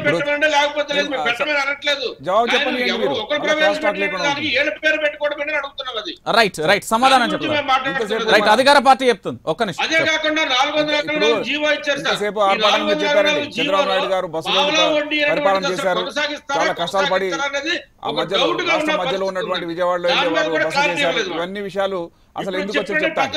బస్సులో పరిపాలన చేసేటువంటి ఆగత్యం ఒక ముఖ్యమంత్రికి ఎందుకు వస్తుందండి? ఓటుకునోడు కేసు లోపల దొంగగా దొరికి పలానించి తగ్గించి బతుకు జీవుడు అని చెప్పి రాష్ట్రాన్ని తప్పించుకుపోయి చెట్ల కింద ఉన్న తప్పలేదనుకుని ఉన్న వ్యక్తి బస్సులో ఉన్నాడు మీరు అంటారు? గొప్పగానే ఉన్నాడు బస్సులో. ఎక్కడ రోడ్డు మీద నడు రోడ్డు మీద ఉండి పాలన చేయమని చేసేవాడు. ఎందుకంటే ఆ టైంలో ఇక్కడ అరెస్ట్ చేశారు భయానికి వెళ్ళిపోయాడు. పది సంవత్సరాలు ఉమ్మడి క్యాపిటల్ ఉండగా బస్సులో పోయి పరిపాలన చేయాలంటే ఎంత హీనమైన పరిస్థితి అంటే. ఈ రోజు కూడా ఇక్కడ ఉండి చేసే అవకాశం కూడా ఉంది. పది సంవత్సరాలు కాలేదు. అయినప్పటికీ కూడా ఆయన చేసిన తప్పుకు ఆయన పరిగెత్తి దాని ఏదో గొప్పగా ఔదాత్యం అవ- ఇంకో విషయం అండి రావాలండి. ముందు ఇప్పుడు మీరు కిరణ్ కుమార్ రెడ్డి గారు పెట్టినటువంటి పథకాన్ని ఇంత గొప్పగా చెప్తున్నారే మరి మీ మీ హయాం లోపల ఎందుకు అమలు. చేయలేకపోయారు పోనీ ఇప్పుడు వైఎస్ఆర్ కాకుండా ఏమని పెడదాం అంటే చంద్రన్న రద్దు చేసే పథకం. అని పెట్టండి చంద్రన్న రద్దు చేసిన పథకం. అన్న అభ్యంతరం లేదు. ఎందుకంటే ఆయన రద్దు చేశాడు. చేసి ప్రజల్ని ఇక్కట్లో పాలు చేశాడు. వాళ్ళ వాళ్ళ బతుకులు అతలకుతలం చేశాడు. రుణాలు రుణాలు కట్టొద్దు అన్నాడు వడ్డీ కట్టొద్దు అన్నాడు ఇన్ని భరోసాలు అధికారంలోకి వచ్చాడు. వచ్చే త్వరగా తోక ముడిచి ఆల్మోస్ట్ ఎనభై ఏడు వేల కోట్లని తగ్గించుకుంటూ తగ్గించుకుంటూ వెళ్ళి రెండు విడతలు ఇవ్వకుండా పోయి ఇప్పుడు మాట్లాడేదంటే కిరణ్ కుమార్ రెడ్డి గారు అంటే మీ లోపాయి గారు ఒప్పందం ఉందా? మీకు వాళ్ళకి ఏమైనా బంధం ఉందా? తెలియకుండా ఉన్నట్టు అప్పుడు అప్పట్లో చాలా ఆరోపణలు వచ్చినాయండి. కిరణ్ కుమార్ రెడ్డి గారితో చాలా ఫ్రెండ్లీగా ఉండేవారు చంద్రబాబు నాయుడు గారు అని చెప్పి. అయితే దానికోసం ఇప్పుడు పోరాడడం తెలియదు. కానీ వైఎస్ఆర్ అధికారులు ఏం చేశాడు? ఆరోగ్యశ్రీ అంత గొప్పగా అతను అమలు చేసిన దానికి రాజీవ్ ఆరోగ్యశ్రీ పేరు పెట్టాడండి. ఇల్లు కట్టేసి ఇందిరమ్మ ఇల్లు అని పెట్టాడు. ఆయన సొంతంగా ఎప్పుడు పేరు పెట్టుకోలేదండి. అలాంటి మహనీయుడు ఆయన ఆయన చనిపోయిన తర్వాత ఆయన పేరు ఆయన స్మరణతో మేము పెడుతుంటే దానికి అడ్డం వస్తారు. చంద్రన్న రద్దు చేసిన పథకాలు కిరణ్ కుమార్ రెడ్డి పెడితే పెట్టిండొచ్చు. మధ్యలో మీరు ఆపేశారు. ఆపేసిన దానికి మరి శిక్ష ఏది? మీరు చేసిన అపరాధానికి దాని దాని పరిహారం ఏది? అదేమీ లేదు. అసలు ఇప్పుడు మేము చేస్తుంటే సంతోషపడండి. ఒక రద్దయిన పథకాన్ని మేము రివైవ్ చేస్తున్నాం. మేము కూడా సొంతంగా మేము కనిపెట్టామని చెప్పట్లే. కానీ మేము రివైవ్ చేస్తున్నాం. దాన్ని పునరుద్ధరిస్తున్నాం. దాని లోపల మీరు హర్షించండి. మా చేత కాలేదు. మీరు చేస్తున్నారు. సరే చేయండి. సరిగా చేయండి అని చెప్పండి. ఎక్కడ లోపల లేకుండా చేయమని చెప్పండి. కానీ పద్దెనిమిది శాతం వడ్డీ కట్టించినటువంటి ఒక హీనమైన పరిస్థితిలో రైతులను తెచ్చి వాళ్ళు మోసం చేసి చివరికి అందువల్లనే మీరు ఓడిపోయారనే విషయం కూడా మర్చిపోయి మీరు మాట్లాడడం అంతకంటే దారుణం లేదు. ఎందుకంటే కిరణ్ కుమార్ రెడ్డి గారు ప్రస్తుతం తీవ్ర అకారం మీకు లేనే లేదు. ఆయన కాంగ్రెస్ పార్టీ. వ్యక్తి మీరు కాంగ్రెస్ పార్టీ వారు కాదు. కానీ మీరు చేసిన పాపాలను మర్చిపోకండి. పాపాల. మీరు కొనసాగిస్తే మేము మేము ఎట్లా చేస్తాం? కొనసాగించలేదు కాబట్టి మేము పునరుద్ధరిస్తున్నాం. అందువల్ల. మొదలు పెట్టాం. దాంట్లో తప్పేంటి? చేసిన దాంట్లో ఇంకా ఔన్నతాన్ని గమని- గమనించండి మీరు. రైట్ వెంకటేశ్వరరావు గారు క్లారిటీగా ఏదైతే రద్దయిన పథకాన్ని మీరు రద్దు రద్దు చేసిన పథకాన్ని మళ్ళీ తెర మీదకి తీసుకువస్తున్నామని ఆ అధికార పక్షం చెప్తుంది. ఇప్పుడు మీరేమంటారు? క్లారిటీ వచ్చినట్టేనా? వాస్తవంగా ఎవరు కూడా మేము తెలుగుదేశం ప్రభుత్వం రద్దు చేశామని చెప్పని ఎక్కడైనా జీవో ఉంటే చూపించమనండి వాళ్ళని. ఎవరు మేము ఎక్కడ కూడా ఐదు సంవత్సరాల్లో కూడా ఎక్కడ కూడా రైతులకి ఏమి ఇవ్వలేదంటారా మీరు? డిసిసి బ్యాంకులు ఆంధ్ర బ్యాంకులు. మరికొన్ని బ్యాంకుల ద్వారా కూడా ఇచ్చేటువంటి రుణాలన్నీ కూడా ఎవరు ఇచ్చారండి అన్ని కూడా? ఎవరు ఇచ్చారు సార్ అవన్నీ కూడా? మరి. ఎవరు ఇచ్చారని చెప్తాను. ఇప్పుడు ఇచ్చిన మీరు ఇచ్చిన హామీలను నిలబెట్టుకోలేకపోయారు. చెప్పండి. Right, right right. రైతులకు ఒక నిమిషం ఒక నిమిషం. శ్రీధర్ గారు క్లారిటీ ఇస్తారు. ఒక నిమిషం ఒక నిమిషం. వినండి. ఇప్పుడు మీరు అన్నారు చంద్రబాబు నాయుడు గారు రద్దు చేశామని రైతు జీవో ఇవ్వరండి ఎవరు? రద్దు చేశామని ఎవరు జీవో ఇవ్వరు? కేవలం? దాని దాన్ని నిర్లక్ష్యం చేస్తారు. దాని ఎక్కడా చూడకుండా వదిలేస్తారు. ఆ ఫైల్లో ఉన్న రైతులు కట్టకుండా ఉంటారు. దాన్ని రద్దు చేయడం అని అంటారు పరోక్షంగా. ఆ విషయం నెలల ఎవరైనా సరే నేను రద్దు? చేశానని చెప్పడానికి ముఖ్యమైన ధైర్యం సాగుతుందా అండి? ఆయన ఎప్పుడైతే బాకీలు పెట్టారో? ఎప్పుడైతే ప్రజలకు వడ్డీ మీరు బంగారు? రైట్ వెంకటేశ్వర గారు ఒక్క నిమిషం ఒక్క నిమిషం హోల్లో ఉండండి. ఒక్క నిమిషం ఒక్క నిమిషం ఒక్క నిమిషం ఒక్క నిమిషం హోల్లో ఉండండి. ఒక్క నిమిషం ఒక్క నిమిషం. కృష్ణరాజు గారు ఈ పథకానికి సంబంధించి ఒక్క నిమిషం వెంకటేశ్వర గారు ఒక్క నిమిషం. ఈ పథకానికి సంబంధించి ఏదైతే పక్కన పెట్టడం కానీ పక్కన పెడితే రద్దు చేసినట్లుగానే భావించవచ్చా? లేకపోతే దానికి సంబంధించి దాదాపుగా ఆ పెనాల్టీ కూడా కట్టిన పరిస్థితి దీన్ని దీన్ని ఏ- విధంగా చూడొచ్చు? వాళ్ళ సంబంధం చెప్తారు? ఒక రాష్ట్ర ప్రభుత్వం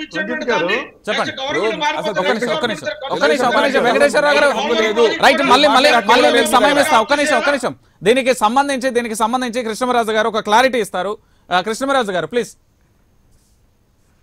సార్ ఇక్కడ ఈ దీనికి సంబంధించి జీరో ఇంట్రెస్ట్ పథకానికి సంబంధించి తెలుగుదేశం పార్టీ కూడా మొదట్లో బాగానే చేశారండి. క్రమక్రమంగా నిధుల కొరతతో వాళ్ళు పడిన ఇబ్బంది అనేది అదే తెలిసిందే.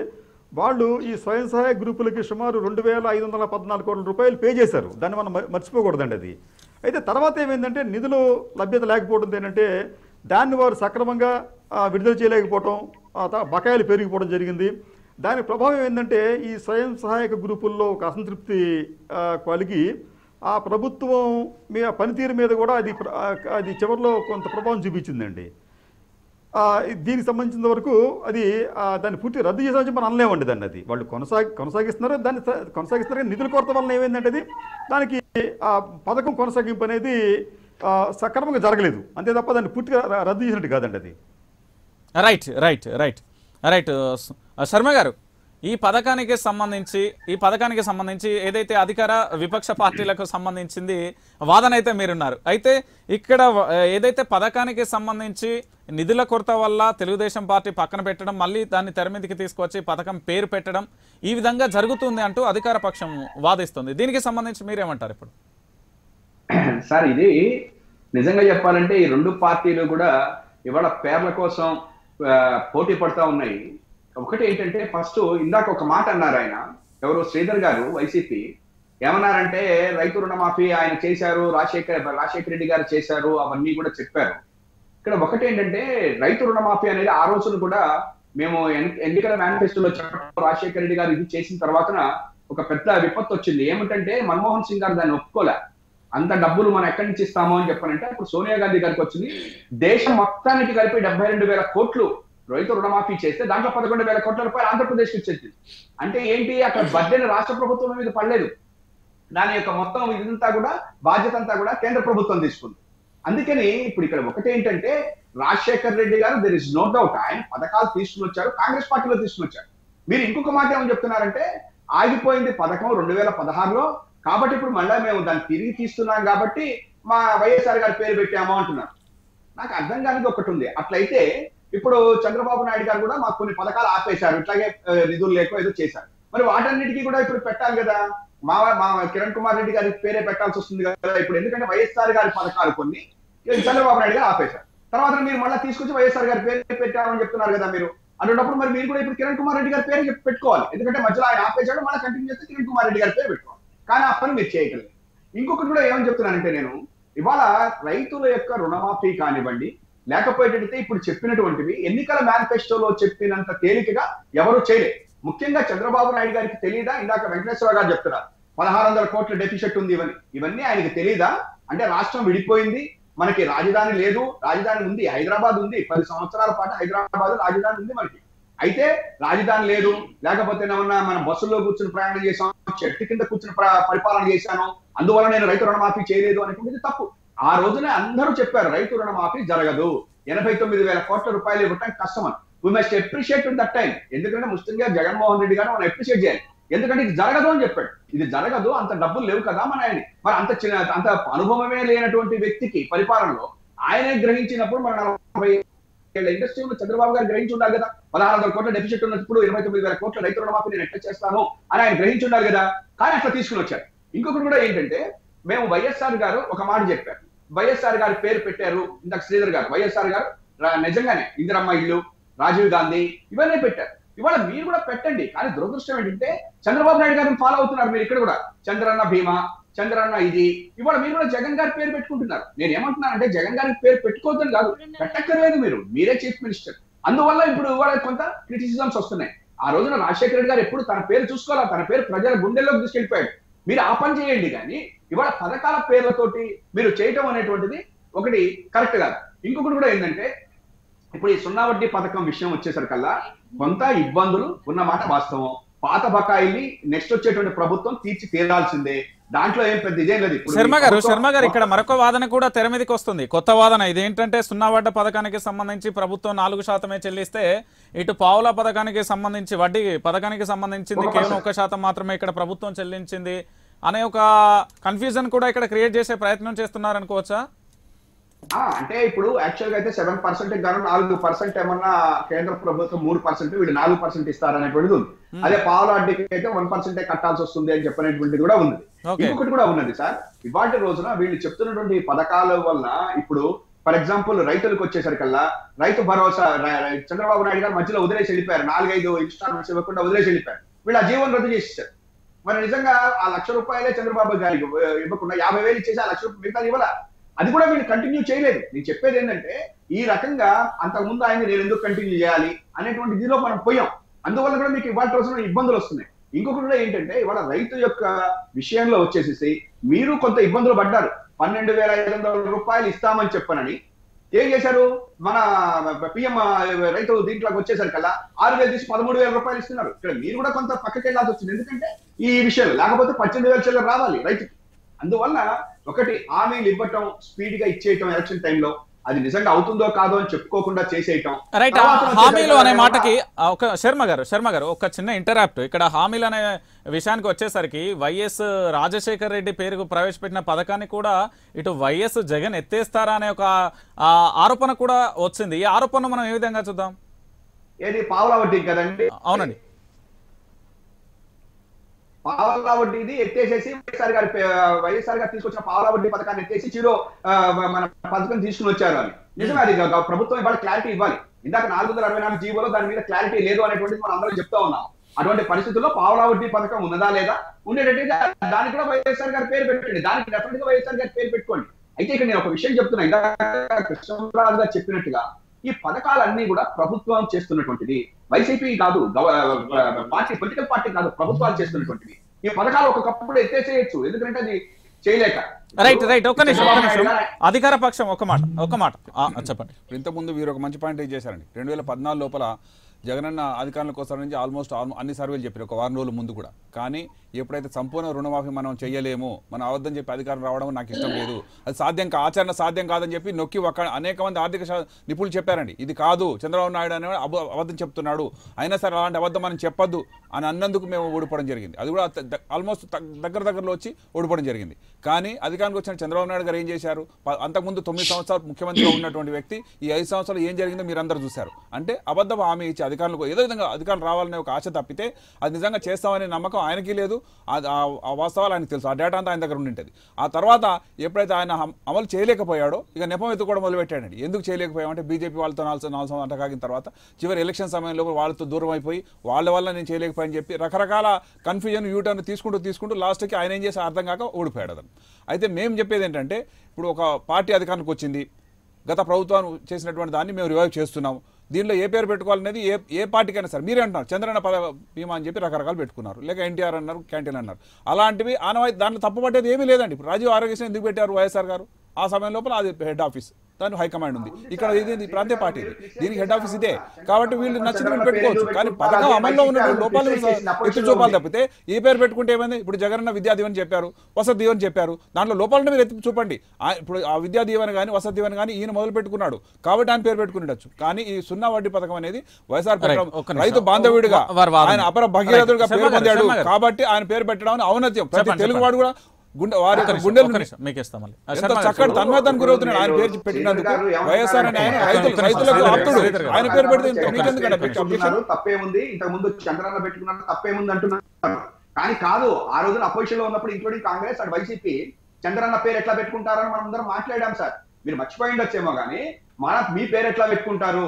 యాక్చువల్గా కూడా మాయావతి గారు అట్లా పెట్టుకుంటే దాని మీద సుప్రీంకోర్టు కూడా ఒక ఇది ఇచ్చింది. మీ మీ పేర్లు పెట్టుకోవడం ఏంటనేది కూడా నాకు గుర్తున్నంత వరకు సబ్జెక్ట్ కరెక్ట్ అందువల్ల మనం ఆ రోజున క్రిటిసైజ్ చేసాం. చంద్రబాబు నాయుడు గారు చంద్రన్న బీమా చంద్రన్న ఇది పెట్టుకుంటుంటే నీ నీ పేర్లు పెట్టుకోవడం ఏమిటి? ఇంకెటువంటి నువ్వు ఉండవు.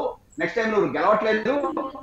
కాబట్టి ఇప్పుడే నువ్వే పెట్టుకుంటున్నావు. నీ పేరు పెట్టేవాళ్ళు లేరు అని చెప్పనేటువంటిది మనం అందరం క్రిటిసైజ్ చేసాం. చేసి ఇవాళ రోజున వచ్చేసరికి ఆయన తెచ్చిన పథకం కాబట్టి జగన్ గారు పెట్టుకుంటారు అనేటువంటిది మీరు సమర్థించుకోకండి. మేము వాళ్ళ అధికారంలోకి వచ్చా మేము పెట్టేసుకుంటామని అనండి. ఇంకొకటి కూడా మీకు చెప్తున్నా. ఇవాటి రోజున పథకాల పేర్లు ఇప్పుడు నేను ఒక సూచనగా అంటే ఇది మీరు అమలు పరచాలని లేదు కానీ ఒక సూచనగా నేను చెప్పేది ఏంటంటే ఈ రాష్ట్రంలో ఎంతో మంది మహానుభావులు వచ్చారు. మన చీఫ్ మినిస్టర్లు ఉన్నారు. వాళ్ళందరి పేర్లు కూడా పెట్టుకోండి. అప్పుడు ఏమవుతుంది? ఆ పథకాన్ని ఇంకొక నెక్స్ట్ వచ్చే right right right right right right Sharma garu ఒక్క వాళ్ళు నిమిషం. రైట్ ఇప్పుడు సెల్ఫ్ హెల్ప్ గ్రూప్స్ అనేవి గమనించండి. రెండు వేల తొమ్మిది లోపల ఎప్పుడైతే వైఎస్ఆర్ గారి సెకండ్ టైం సెకండ్ టైం అని అధికారంలోకి వచ్చారు. ఆ సమయంలో మన సెల్ఫ్ హెల్ప్ గారి గ్రూప్ గురించి చెప్తా అండి డ్వాక్రా మహిళలు? ఆల్మోస్ట్ దేశం మొత్తంలో ఇరవై శాతం గ్రూప్స్ మన దగ్గర అంత సక్సెస్ఫుల్గా శర్మ గారు, శర్మ గారు, శర్మ గారు. పెట్టారనుకోండి, ఇప్పుడు వైఎస్ఆర్ పేరు ఎందుకు పెట్టాలి అనే దానికి జస్టిఫికేషన్ ఇవ్వనియండి శర్మ గారు ఒక్క నిమిషం శర్మ గారు ఒక్క నిమిషం. శ్రీధర్ గారు కంక్లూడ్ చేయనివ్వండి శ్రీధర్. ఇప్పుడు వైఎస్ఆర్ సెకండ్ టైం అధికారంలోకి వచ్చిన తర్వాత రెండు వేల తొమ్మిది లోపల సెల్ఫ్ హెల్ప్ గ్రూప్స్ అనేవి మన దేశం మొత్తం లోపల ఆల్మోస్ట్ టాప్ లెవెల్లో ఉన్నాయండి. అంటే ఇరవై శాతం ఈ గ్రూప్సే పనిచేస్తున్నాయి. వాళ్ళు తొంభై శాతం వాళ్ళు వాళ్ళకి రుణాలు పే చేసేస్తున్నారు. అంత గొప్పగా చేస్తున్న దాన్ని నీరుగార్చి చివరికి రెండు వేల పద్నాలుగు చంద్రబాబు నాయుడు గారి యొక్క హయాం అయ్యేటప్పటికి అసలు లేకుండా పోయినాయండి. వాటిలో ఎక్క వాళ్ళ వాళ్ళు తొంభై ఒక్క లక్షల మందిని ఆయన ఇరిటేట్ చేశాడు కాబట్టి వాళ్ళు మోసం చేశాడు కాబట్టి ఆయన పతనం అయ్యిండొచ్చు. ఎందుకంటే ఎలక్షన్లు గెలిచేది ఎక్కడ టోటల్ చూస్తే ఐదు లక్షల ఓట్లు తేడా వస్తుందండి. కానీ ఎవరెవరు ఎటువంటి గ్రూప్స్కి మనం అన్యాయం చేశామని చూసుకుంటే ఈ గ్రూప్స్ చాలా అద్భుతంగా పనిచేస్తున్నవి. మా పనితీరుని దెబ్బతీశారు మా బతుకుదలను దెబ్బతీశారు మా బంగారం అసలు మీరు బ్యాంక్లో ఇచ్చేస్తా అన్నాడు ఏది ఇవ్వలేకపోయాడు. లాస్ట్కి ఆడు వడ్డీ కట్టొద్దన్నందుకు డబల్ కట్టాల్సి వచ్చింది. ఆ బాధ. చూస్తుంటే ఎవరైనా సరే ఓర్చుకుంటారా అండి? ఓర్చుకునే అవసరం అవకాశం ఉందా? చంద్రబాబు నాయుడు గారు కూడా తెలుసు. చివరి చివరి వచ్చినప్పుడు ఆయన మాట మార్చేశాడు. ఇచ్చేది లేదు. వన్ సెన్ అవన్నీ సెటిల్మెంట్ అయిపోయి అయిపోయాయి. ఆయన అన్న మాట మీ వన్ శర్మ గారు శర్మ గారు మళ్ళీ మీ గ్రూప్స్ కంక్లూడ్ ప్రవర్తించారు. సెల్ఫ్ హెల్ప్ గ్రూప్స్ పైన ఆయన నిర్దయగా ప్రవర్తించారు. ఆయన తప్పించుకునే ప్రయత్నం చేశాడు. అందువల్లనే ఆయన కూడా అవన్నీ కాబట్టే కదా ఆయన ఇంటికి పంపించేశారు. ఇప్పుడు మీరు అది చెప్పేది మేము. రెండోది పథకాల పేర్లు పెట్టుకోవటం అనేటప్పుడు కొంచెం జాగ్రత్త పడండి. ఇవాళ ఈ ఒక్క పథకమే కాదు మీరు అన్ని పథకాలకి కూడా వైఎస్ఆర్ గారి పేరు పెట్టుకుంటున్నారు. తప్పేం లేదు అంటే మళ్ళీ అక్కడ వైఎస్ఆర్ కానీ అన్నిటికీ ఆయన పేరు పెట్టుకోవటం మూలకంగా ఏమవుతుందంటే ప్రజలకు కూడా ఏంటి ఆయన వచ్చే ఆయన పేరు అన్న అన్న ఎన్టీఆర్ అంటాడు ఈయన వచ్చి వైఎస్ఆర్ గారి పేరు అంటారు ఏంటి ఇదంతా అనేటువంటి ఒక ఇది లేకుండా ప్రజల్లో మీరు వెళ్ళాల్సినటువంటి అవసరం ఉంది. మీరు చంద్రబాబు గారు ఓడిపోయారు అంటే దానికి లక్ష తొంభై కారణాలు ఉన్నాయి. ఆయన అందరినీ ఇబ్బందులు పెట్టాడు కాబట్టి అందరూ కలిపి ఓ నూట యాభై ఒక్క సీట్లు మీకు ఇచ్చారు. అందువల్ల మీరు ఇప్పుడు చెప్పాల్సింది ఏంటంటే పథకం ఇవాళ జీరో పర్సెంట్ పథకం. ఆ పథకానికి కిరణ్ కుమార్ రెడ్డి గారు తెచ్చారు దాన్ని మీరు ఒప్పుకుంటున్నారు. మధ్యలో చంద్రబాబు నాయుడు గారు డిస్కంటిన్యూ చేశాడు. చేసిన తర్వాత మళ్ళా ఇప్పుడు మీరు వైఎస్ఆర్ పంట రుణ పథకం చేస్తున్నారు కాబట్టి ఇవాళ తెలుగుదేశం పార్టీ డైరెక్ట్గా అంటారు. ఎందుకని చెప్పంటే వాళ్ళకి వేరే పని లేదు కాబట్టి ఏదో మీరు చేసే ప్రతిదాన్ని అంటారు. కానీ మేము అడుగుతున్నది ఏంటంటే ఆ పథకం పేరులో వైఎస్ఆర్ గారి పేరు వద్దు కిరణ్ కుమార్ రెడ్డి గారి పేరు అక్కడ రైతుల యొక్క జీరో పర్సెంట్ పథకం అని పెట్టుకోండి మీకు right. చక్కగా శర్మ గారు, ఉంటుంది. శర్మ గారు, ఒక్క వైఎస్ఆర్ నిమిషం, ఒక్క గారి నిమిషం. పేరు పెట్టినందువల్ల ఒక్క నిమిషం, మీకు ఒక్క నిమిషం. సమస్యలు. పథకంలో ఎందుకంటే కిరణ్ కుమార్ రెడ్డి గారు తెచ్చినటువంటి right right right right right right Krishnamaraju garu right Krishnamaraju గారు ప్లీజ్ సార్ ఇప్పుడు ఈ ఈ- ఏ ప్రభుత్వం అధికారంలోకి వస్తే ఆ ప్రభుత్వం వాళ్ళు ఆ ముఖ్యమంత్రి పేర్లు పెట్టుకుంటాం అని చెప్పి అనేది అంత హోందాగా లేదండి ఫస్ట్ మొదట వాళ్ళ గమనించాలి మీ సొంత నిధులు అయి ఉండి మీరు దాన ధర్మం చేయాలనుకుంటే ఆ పథకాలకి మీ పేరు పెట్టుకోండి. అభ్యంతరం లేదు. కానీ ప్రజల ధనాన్ని మీరు ఖర్చు చేస్తూ మీ పేర్లు పెట్టుకోవడం అనేది ఎంతవరకు భావ్యం అది? రెండోది ఏంటంటే ఈ సంక్షేమ పథకాల పేరుతో దాదాపు భారతదేశం అన్ని రాష్ట్రాలు కూడా దేశ వ్యవస్థని ఇబ్బంది పెడుతున్నాయండి. భారతదేశంలో కేంద్ర ప్రభుత్వంతో పాటు అన్ని రాష్ట్రాల్లో కూడా అనుత్పాదక వ్యయాలు చాలా ఎక్కువగా పెరుగుతున్నాయి. ఉత్పాదక వ్యయాలు తగ్గిపోతున్నాయి. ఈ అనుత్పాదక వ్యయాల్లో అగ్రభాగం అగ్ర షేర్ ఎవరిదంటే ఈ వెల్ఫేర్ స్కీమ్స్దే మీరు ఎవరికి ఇస్తున్నారు వెల్ఫేర్ స్కీమ్స్ అన్నీ కూడా? ఎక్కడ జరుగుతున్నాయండి? దీంట్లో ఈ వెల్ఫేర్ స్కీమ్స్లో కూడా అనర్హులకు అత్యధికంగా పోతుంది. నిజంగా అర్హులైన వారికి ఏమో చాలా తక్కువ అమౌంట్ వెళ్తుందండి. మనం చేసుకుంటూ వెళ్తూ ఉంటుంటే మన భారతదేశం అనేది అట్లాగే మన ఆంధ్రప్రదేశ్ అనేది ఎప్పటికీ కూడా సమగ్ర అన్ని రంగాల్లో అభివృద్ధి చెందే ఒక ఆస్కారం ఉండదు. కాబట్టి రాజకీయ నాయకులు ఇప్పటికైనా కానీ చిత్తశుద్ధితో నిజాయితీగా వ్యవహరించండి. మీ వ్యక్తిగత ప్రతిష్టను పక్కన పెట్టుకోండి. మీకు వ్యక్తిగతంగా ప్రతిష్ట ఉంటే మీ కంపెనీలు ఉన్నాయి మీకు. చంద్రబాబు నాయుడు గారి కంపెనీలు ఉన్నాయి జగన్ గారి కంపెనీలు ఉన్నాయి ఇతరుల కంపెనీలు ఉన్నాయి. ఆ కంపెనీ నుంచి నిధులు తీసుకురండి. తీసుకొచ్చి మీరు ప్ర- ప్రజలకి మీరు పంచండి. దానికి మీ పేర్లు పెట్టుకుని అభ్యంతరం లేదు. కానీ మీరు నేను అందరూ కడుతున్న ట్యాక్స్ ట్యాక్స్ అమౌంట్లు తీసుకొచ్చి మీరు ఖర్చు పెట్టి దానికి మీ పేర్లు పెడతా ఉంటారంటే అది అది సరైన భా భావ్యంగా లేదండి. ఈ విషయం ఏంటంటే అన్ని రాజకీయ పార్టీలు కూడా ఒకే మాటతో ఉండాలి. మీరు దే ఎవరన్నా బాగా సేవ చేసి ఆ, చనిపోయిన వారు ఉంటే వాళ్ళ పేరు పెట్టడం తప్పేం కాదు అది. బతికున్న వాళ్ళ పేరు ఎందుకు పెడతారా వాటికి? రైట్ సరే, రైట్ వై- వైఎస్ఆర్ గారి గురించి చెప్తున్నా అండి. ఇప్పుడు మీరు కిరణ్ కుమార్ రెడ్డి గారి పేరు పెట్టాలని చెప్తున్నారు.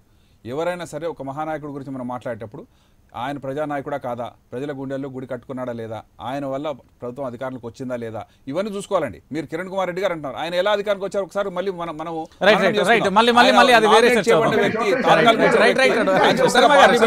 ఎమ్మెల్యే గెలవలేనటువంటి వ్యక్తి. కంపారిజన్ ఎక్కడండి?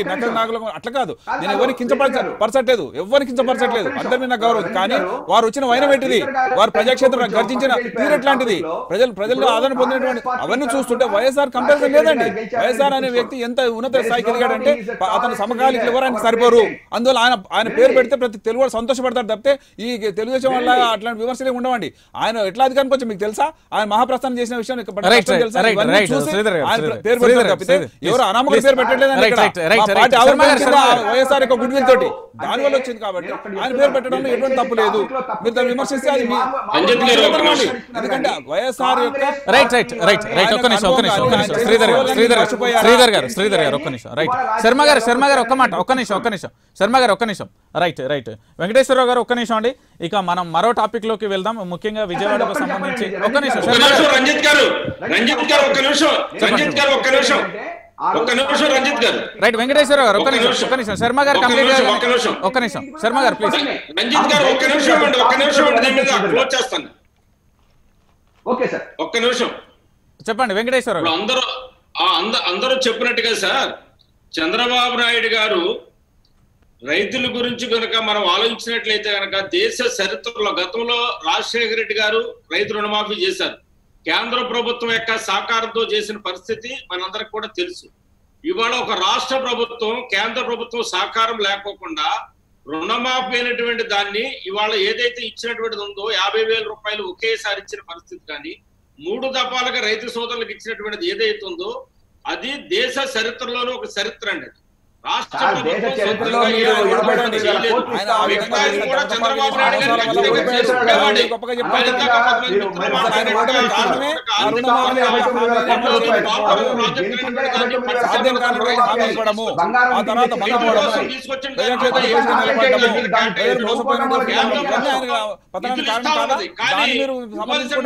సకాలంలో నిధులన్నీ కూడా రిలీజ్ కాలేకపోవటం దాని మూలంగా ఇచ్చారు. ఎక్కువగా హామీ ఎందుకు ఇచ్చారు? హామీ ఎందుకు ఇచ్చారు? హామీ ఇచ్చేసి ఏడు ముఖం పెట్టుకుని నిలబడితే ప్రజలు క్షమిస్తారని ప్రజలు ఏమనుకుంటారు? మాకు ఇచ్చిన హామీని నెరవేరుస్తారనుకుంటారు. అందుకే ఓటేస్తారు. పెద్ద ఆయుధం ప్రజాస్వామ్యంలో. అలాంటి ఓట్లు మీరు మంది సంపాదించుకొని తర్వాత మా వల్ల కాలేదు ప్రాంతీయ పార్టీ కాబట్టి ఇలాంటి కుంటి సాకులు ఎవరు నమ్మరండి? రైట్ వెంకటేశ్వరరావు గారు వెంకటేశ్వరరావు గారు మీరన్నట్టుగా మీరన్నట్టుగా మీరన్నట్టుగా నేను- నాదో ప్రశ్న. వెంకటేశ్వరరావు గారు. రెండోది వెంకటేశ్వరరావు గారు వెంకటేశ్వరరావు గారు ఒక మాట ఒక మాట ఒక మాట ఒక మాట కంటిన్యూ చేద్దరు ఒక మాట.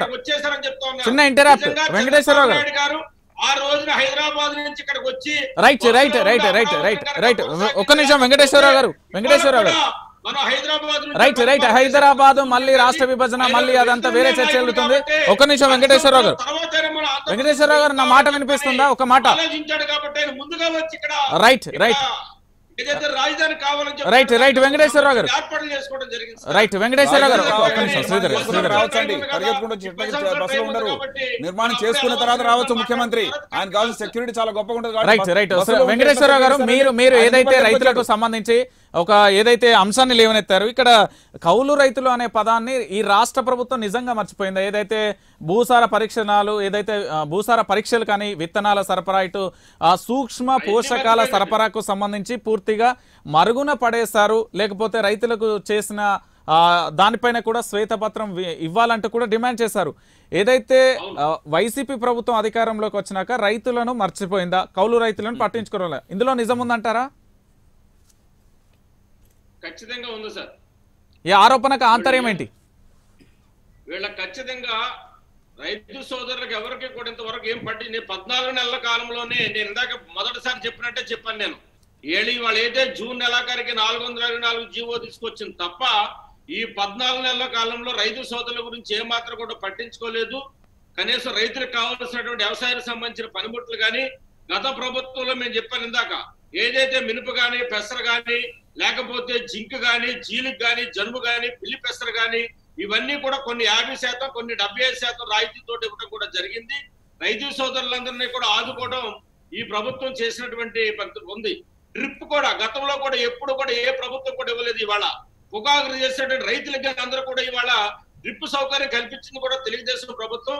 అంతేకాదు గతంలో పొగాకు రైతులు అనేక ఇబ్బందులు పడుతున్నటువంటి పరిస్థితుల్లో కూడా స్వయంగా నేనే ఆనాడు ఉన్నటువంటి నిర్మలా సీతారామన్ గారితో విజయవాడలో మీటింగ్ పెట్టించి టొబాకో బోర్డు చైర్మన్ గారిని తీసుకొచ్చి కూర్చోబెట్టి అందరినీ కూడా మాట్లాడి ముఖ్యమంత్రి గారి సహకారంతో అక్కడ రాష్ట్రంలో ఉన్న కొంతమంది మంత్రులు రైట్ రైట్ రైట్ మీరు ఆరోపణ చేసినట్లుగా వెంకటేశ్వరరావు గారు మీరు ఆరోపణ చేసినట్లుగా ఆదుకున్నటువంటిది కూడా తెలుగుదేశం ప్రభుత్వం.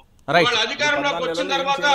పద్నాలుగు నెలల కాలంలో కూడా ఏ మాత్రం కూడా రైతులకి ఇవాళ మేము అడుగుతా ఉన్నాం ఈ యొక్క మీరు అన్నట్టుగా భూసార పరీక్షలు కానీ రైతులకు సంబంధించినటువంటి ఏమన్నా వి- విత్తనాలకు సంబంధించి కానీ వ్యవసాయ పనిముట్లు కానీ ఈ జింక్ కానీ ఇటువంటి ఎక్కడైనా ఏమైనా సరఫరా చేశారా? ఒక్కసారి రైట్ రైట్ ఒక్క నిమిషం. అధికార పార్టీని ఒక్క నిమిషం. వెంకటేశ్వరరావు గారు వెంకటేశ్వరరావు గారు ఒక్క నిమిషం. Right right. శర్మ గారు నిజంగా వైసీపీ ప్రభుత్వం అధికారంలోకి వచ్చినాక కౌలు రైతులను కానీ భూసార పరీక్షలకు సంబంధించిన వ్యవహారాలకు సంబంధించి అంటే రైతు అవసరాలకు సంబంధించి వారికి సహాయం చేయలేకపోతుందా? ఈ ప్రభుత్వం వైఫల్యం చెందిందా? సార్ ఒకటి మనం ఒప్పుకొని తీరాల్సింది ఏంటంటే ఎస్పెషల్లీ వైఎస్ఆర్ అంటే జగన్ గారి ప్రభుత్వం వచ్చిన తర్వాత ఏ మాట కామాట ఫిబ్రవరి మార్చి మన మార్చి నుంచి కోవిడ్ వచ్చిన తర్వాత నిజంగా వీళ్ళు అమలు చేస్తున్నటువంటి పథకాలు ఆయన డబ్బులు ఎక్కడి నుంచి తెస్తున్నాడో ఏంటో పక్కన పెట్టేస్తే ఇవాళ ఆయన చేస్తున్నటువంటి పథకాల మూలకంగా జనాల దగ్గరికి డబ్బులు రావటం అనేటువంటిది చాలా మంచి విషయం. ఎందుకంటే మా రాహుల్ గాంధీ చెప్పాడు ప్రజల దగ్గర డబ్బులు లేకపోక ఇబ్బందులు పడుతున్నారు. ఏడు వేల ఐదు వందల రూపాయలు వాళ్ళ జేబులోకి వెళ్ళేటి చేయండి పర్చేసింగ్ పవర్ పెరుగుతుంది అని చెప్పని అన్నారు. ఆ విషయంలో నిజంగా ఇవాళ అది అమ్మ ఒడా లేకపోతే ఇంకేదో ఇవన్నీ పక్కన పెడితే మొత్తం మీద ప్రజల దగ్గరికి డబ్బులు అది ప్రభుత్వ డబ్బే కావచ్చు. కానీ మొత్తం మీద తీసుకెళ్తున్న దానికి మాత్రం మనం అప్రిషియేట్ చేయక తప్పదు. రెండోది ఇవాళ రాష్ట్రంలో ఉన్నటువంటి పరిస్థితి ఏంటంటే రెవెన్యూ లోటు ఉన్నమాట వాస్తవం. ఈ రోజు కూడా కేంద్ర ప్రభుత్వం నుంచి రావాల్సినటువంటి పూర్తి నిధులు మనకి ఇప్పటివరకు రాలేదు. చంద్రబాబు నాయుడు గారు మూడున్నర సంవత్సరాలు వాళ్ళతో పాటు వెళ్ళి చివరిలో వాళ్ళతోటి ఎదురు తిరిగి అసలు ఏమి ఇవ్వలేదు అసూయ పడుతున్నాడు నా గురించి అని చెప్పడం మొత్తం రాష్ట్రాన్ని తీసుకుని వెళ్ళిపోయేసేసి ఒక అంధకారంలోకి తీసుకెళ్ళిపోయినటువంటి తర్వాత ఇవాళ దాన్ని మళ్ళా తెచ్చుకోవాల్సిన బాధ్యత ఇవాళ ప్రభుత్వానికి. అయితే ఆ రోజు చంద్రబాబు గారు వెళ్ళిపోయేటప్పటికి మీ మన దగ్గర ఉన్న బడ్జెట్ ఇదిలో ఎంత అంటే వంద కోట్లు అని చెప్పని మన ఈనాడు ప్రముఖ పత్రికలోనే వచ్చింది. అంటే వంద కోట్ల రూపాయలతోటి స్టార్ట్ చేసుకున్నటువంటి ప్రభుత్వం ఇవాళ కొన్ని చేస్తుంది. అయితే మీరు ఇంతకు కౌలు రైతులు అని చెప్పనన్నా. ఇది ఇవాళ రోజున చాలా ఇబ్బందికరమైనటువంటి విషయం ఏంటంటే ఇవాళ రైతు రుణమాఫీ సబ్జెక్టివ్ కరెన్సీ రైతు రుణమాఫీ కానీ ఇవన్నీ కూడా ఎవరికి దగ్గరికి వెళ్తాయి? ఆ పొలం ఎవరి పేరు మీద ఉందో వాళ్ళ దగ్గరికి వెళ్తాయి. ఇవాళ రోజున నష్టపోతున్నటువంటి వాళ్ళు ఎవరు? కౌలు రైతు. చాలా వరకు కూడా ఇవాళ దురదృష్టం ఏంటంటే ఇవాళ రైతులు డైరెక్ట్గా ఎవరైతే భూ యజమానులు ఉన్నారో వాళ్ళు వ్యవసాయం చేయట్లేదు వాళ్ళు కౌలుకి ఇస్తున్నారు. ఆ కౌలు రైతు దెబ్బతింటా ఉన్నాడు. దాని మీద కేంద్ర ప్రభుత్వం కానీ ఇవాళ వీళ్ళు కూడా ఆలోచించాల్సినటువంటి అవసరం right. Right right right Sharma garu Sharma garu ఒక్క నిమిషం. రైట్ రైట్ శ్రీధర్ గారు. శర్మ గారితో విభేది విభేదిస్తాను ఎందుకంటే వారంటారు కౌలు రైతులకు ఏమీ చేయలేదు లేక వాళ్ళు అంధకారంలో నెట్టేయబడ్డారు వాళ్ళకేమో మంచి చేయలేదు అట్లా కాదండి మొట్టమొదటి ప్రభుత్వం రైలు కౌలు రైతుల్ని ప్రభుత్వం కాదు, మాదే. కాదు, శ్రీధర్ గారు, మెయిన్ నలభై నలభై అన్నది చంద్రబాబు నాయుడు లక్షల మంది. రైతులకైతే అందులో ఆల్మోస్ట్ ఏడు లక్షల మంది కౌలు రైతులకు ఇవ్వడం జరిగింది. రైతు భరోసా రైట్ రైట్ పథకం రైట్ అనేది రైట్ రైట్ అంటే కౌలు శర్మ గారు చెప్పింది ఏదైతే చంద్రబాబు వల్ల అసలు మెయిన్ యజమాని భయపడకుండా ఉండడానికి ఒక అగ్రిమెంట్ తయారు చేసింది అంటే. శ్రీధర్ గారు శ్రీధర్ గారు శ్రీధర్ గారు ఇక్కడ ఇక్కడ ఏదైతే వివాదం రాకుండా ఒక- కాపాడింది మా ప్రభుత్వమే. రైట్ అంటే కౌలు మాట ఒక్క మాట. ఏదైతే ఇటు టీడీపీ విమర్శలు చేసినట్లుగా రైతులకు చేసిన దానిపై శ్వేతపత్రం విడుదల చేయడానికి వైసీపీ సిద్ధంగా ఉందా? చాలా సిద్ధంగా ఉందండి. ఇప్పుడు ఇంతకుముందు తెలుగుదేశం మిత్రులు మాట్లాడుతూ పద్నాలుగేళ్ళు ఏమి చేయలేదు ఏమి చేయలేదు. అంటే వారు ప్రజాక్షేత్రంలో ఉన్నారా లేదా? ఉంటే కనబడుతున్నాయా లేదా? కనబడితే ఒప్పుకునే మనస్తత్వం వారికి ఉందా లేదా? అసలు మంచి చేస్తున్న దాన్ని హర్షించే అవకాశం అని ఉందా వారి హృదయంలో? అవన్నీ ఏమీ మాట్లాడలేదండి. అసలు రాష్ట్రం సుభిక్షంగా ఉంది. రైతు బాంధవ్యుడిగా రైతు పక్షపాతిగా పేరు పొందినటువంటి వైఎస్ఆర్ యొక్క తనయుడు ఇక్కడ తండ్రి మీద తనయుడిగా పాలిస్తున్నాడు రైతు భరోసా అయితే ఉందో మేము నాలుగు సంవత్సరాలు చెప్పాము అది ఐదో సంవత్సరం కూడా ఇచ్చాము చెప్పిన దానికంటే ఎక్కువ ఇచ్చాము చెప్పిన దానికంటే ముందుగా ఇచ్చాము తర్వాత రైతు భరోసా కేంద్రం మీరు ఎప్పుడైనా విజిట్ చేస్తే మీకు అర్థమవుతుందండి అందులో ఎంత గొప్ప విషయాలున్నాయి అక్కడ విత్తనాలు పంపిణీ కానీ లేదా ఎరువులు కానీ దాని క్వాలిటీ కానీ ఎవరు మోసపోకుండా నకిలీ విత్తనాలు కొనకుండా మేమే అక్కడ ఉండి అక్రెడిటెడ్ కంపెనీస్ పెట్టి అక్కడ ఉన్నటువంటి గ్రామ సచివాలయాలు కానీ అక్కడ ఉద్యోగులు కానీ చెప్పి తద్వారా డోర్ డెలివరీ చేస్తున్నాం ఇవన్నీ చేస్తుంటే అర్థం కాలేదు. అవి ఎప్పుడు. జరగలేదు. డెలివరీ. అవుతుంటే అంతకు మించి రైతుకి ఏం కావాలండి? గవర్నమెంట్ ద్వారా వచ్చినటువంటి విత్తనాలు నాణ్యమైన అని చెప్పి అతని భరోసా ఉంటుంది. ముందుగా ఆత్- ఆత్మహత్యలు ఎందుకు చేసుకున్నారు? నకిలీ విత్తనాలు వేసాము ఆ నకిలీ వ్యాపారం పట్టుకోవడం కష్టం. ఇవన్నీ కాదు. ప్రభుత్వమే చేస్తుంది. రైతు భరోసా కేంద్రం ఒకసారి మీరు విజిట్ చేయండి. అక్కడ కియోస్క్ మీరు చూసినట్లయితే మీ కళ్ళు తిరిగిపోయిన నిజాలు కనబడతాయి. కౌలు రైతు కూడా వర్తిస్తాయండి కౌలు రైతుని వదిలేసినట్టు మాట్లాడుతున్నాను. కౌలు రైతుకి ఇచ్చిన మొట్టమొదటి ప్రభుత్వం చెప్తున్నా. మళ్ళీ మళ్ళీ చెప్తున్నా నేను. కౌలు రైతుని మేము ఆదుకున్నాము. వారికి మధ్య వివాదం లేకుండా చూసాము అవసరమైనటువంటి అగ్రిమెంట్ కేవలం పదకొండు నెలలకు మాత్రమే ఉంటుంది. నెక్స్ట్ ఇయర్ మళ్ళీ కాళ్ళు రిలీజ్ చేసుకుంటారు. కాబట్టి ఎప్పుడైనా సరే కౌలు రైతు కోర్టుకి వెళ్ళే అవకాశం లేకుండా చేశాము. తద్వారా భూ యజమానికి రిస్క్ లేదు. కౌలు వస్తాయి. శ్రీధర్ గారు శ్రీధర్ గారు. రైట్ కృష్ణమరాజు గారు? ఈ రైతుల కౌలు రైతుల వ్యవహారానికి సంబంధించి అంటే వ్యవసాయానికి సంబంధించి ఇటు భూసార పరీక్షలు విత్తనాల సరఫరా రైతన్నకు నిజంగా రైతు బాంధవుడిగా రైతన్నకు వైసీపీ ప్రభుత్వం అధికారంలోకి వచ్చినప్పటి నుంచి రైతులకు న్యాయం జరుగుతుందా? ఎందుకంటే వారి విత్తనాల నుంచి పంట కొనుగోలు వరకు అన్ని విధాలకు కూడా ప్రభుత్వం సహకారాలు అందిస్తుందా? లేదు అంటూ కూడా విపక్ష పార్టీలు ఆరోపిస్తున్నాయి. దీంట్లో నిజాలు ఎంతవరకు ఉన్నాయి? సార్ రంజిత్ గారు చెప్పండి. ఒక్క విషయం మనం గమనిద్దామండి. గత తెలుగుదేశం ప్రభుత్వం హయాం అంటే ఐదు ఐదేళ్ళ పాటు అలాగే ఇప్పుడు వైఎస్ జగన్ గారి ప్రభుత్వం ఒక సంవత్సరం దాదాపు. ఈ ఆరేళ్ళలో ఆంధ్రప్రదేశ్ ప్రభుత్వాలు అది కానీ ఇది కానీ వ్యవసాయ రంగానికి నీటిపారుదల రంగానికి దాదాపు లక్ష యాభై వేల కోట్ల రూపాయలు ఖర్చు పెట్టినాయండి. వ్యవసాయ రంగానికి నీటిపారుదల రంగానికి లక్ష యాభై వేల రూపాయలు ఖర్చు పెడితే సహజంగా ఏం జరగాలంటే మనకది రైతులందరూ చాలా చాలా సంతోషంగా ఉండాలి. వారికి సంక్షేమ పథకాలు అందాలని చెప్పి అనుకుంటాం మనం. అలాగే ఇరిగేషన్ రంగాన్ని కూడా మనం భారీ ఎత్తున ఖర్చు పెట్టాం కాబట్టి మనకి ఇప్పటి ముప్పటిగా మనకి నీళ్ళు లభించాలని చెప్పి అనుకుంటాం. కానీ మీరు గమనించండి ఈ ఆరేళ్ళలో ఆంధ్రప్రదేశ్లో ఒక్క ఎకరా ఆయకట్టు కూడా అదనంగా మనకు లభించలేకపోగా దాదాపు నికర సాగు పది శాతం తగ్గిందండి. దీనివల్ల మనకు ఏమర్థమవుతుందంటే వ్యవసాయ రంగం మీద మన వాళ్ళు చేసే మన పాలకులు చేసే ప్రకటనలన్నీ కూడా వాస్తవ విరుద్ధంగా ఉంటున్నాయి. ఇవన్నీ కూడా బడ్జెట్లో చెప్పిన విషయాలు చెప్పాను నేను. ఈ లక్ష యాభై వేల కోట్ల రూపాయలు గత ఆరేళ్ళుగా వ్యవసాయ రంగం నీటిపారుదల రంగాల సంఘాలు మనం ఖర్చు పెట్టాము. మీరు చూడండి నికర సాగు చూడండి. టెన్ పర్సెంట్ తగ్గింది. రెండో విషయానికి వచ్చేప్పటికి మన భారతదేశంలో కౌలు ర- కౌలు రైతుల సంఖ్య క్రమంగా పెరుగుతూ పెరుగుతూ వస్తుందండి. కమతాల సంఖ్య కమతాల విస్తీర్ణం తగ్గుతుంది. ఇప్పుడు మన కమ మన యావరేజ్ కమతాల విస్తీర్ణం రెండు ఎకరాలు కూడా లేదండి. దీనికి కారణం ఏమిటంటే ఉమ్మడి కుటుంబాలు విచ్ఛిన్నం కావటం ఒకటి తర్వాత ఈ వ్యవసాయ రంగం మీద డిపెండ్ అయితే మనం జీవనం గడపలేమని చెప్పి ఉన్న భూమిని వాళ్ళు కౌలుకిచ్చుకొని ఇతరత్ర పనులు చేసుకోవడం అనేది.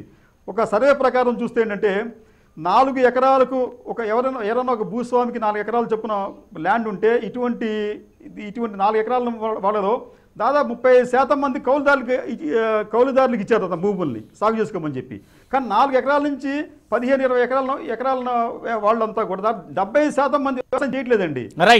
కౌలుదారులకి ఇచ్చారు. ఇటువంటి కౌ ఇటువంటి కౌలుదారులను ఆదుకునే విషయంలో కూడా రాష్ట్ర ప్రభుత్వాలు కేంద్ర ప్రభుత్వాలు సానుకూలంగా వ్యవహరించాలి సానుభూతి వ్యవహరించాలండి.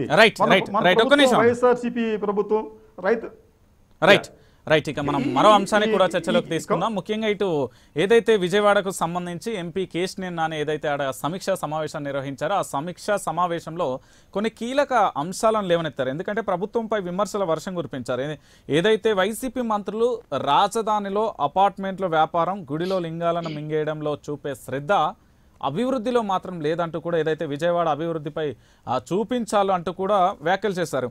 అయితే దీన్ని అన్ని విధాలా ఆదుకోవాల్సిన మంత్రులు కేవలం వ్యాపారాలు సొంత ప్రయోజనాల కోసమే ఇక్కడ వ్యాపారాలు చేస్తున్నారంటూ కూడా ఆరోపణలు చేశారు. ఈ అంశాన్ని కూడా మనం చర్చలోకి తీసుకుందాం. రైట్. ముందుగా వెంకటేశ్వరరావు గారు ఈ ఆరోపణలకు సంబంధించి మీరేమంటారు? సార్ రంజిత్ గారు అందరికీ కూడా ఇవాళ రాష్ట్రంలో ఉన్నటువంటి ప్రజలకు అన్ని రాజకీయ పార్టీలు ఉన్నటువంటి వాళ్ళందరికీ కూడా అందరికి అందరికీ కూడా తెలుసు. ఈ ప్రభుత్వం వచ్చిన తర్వాత ఈ పద్నాలుగు నెలల కాలంలో ఏదైతే ఇవాళ సొంతంగా పేర్లు పెట్టుకుని చేస్తున్నటువంటిది ఏదైతే ఉన్నాయో సంక్షేమ కార్యక్రమాలు మాత్రమే చేస్తా ఉన్నారు తప్ప అభివృద్ధి అనేటువంటిది కూడా టోటల్గా సున్నా చేసిన పరిస్థితి ఈ రాష్ట్ర ప్రభుత్వం చేస్తా ఉన్నది.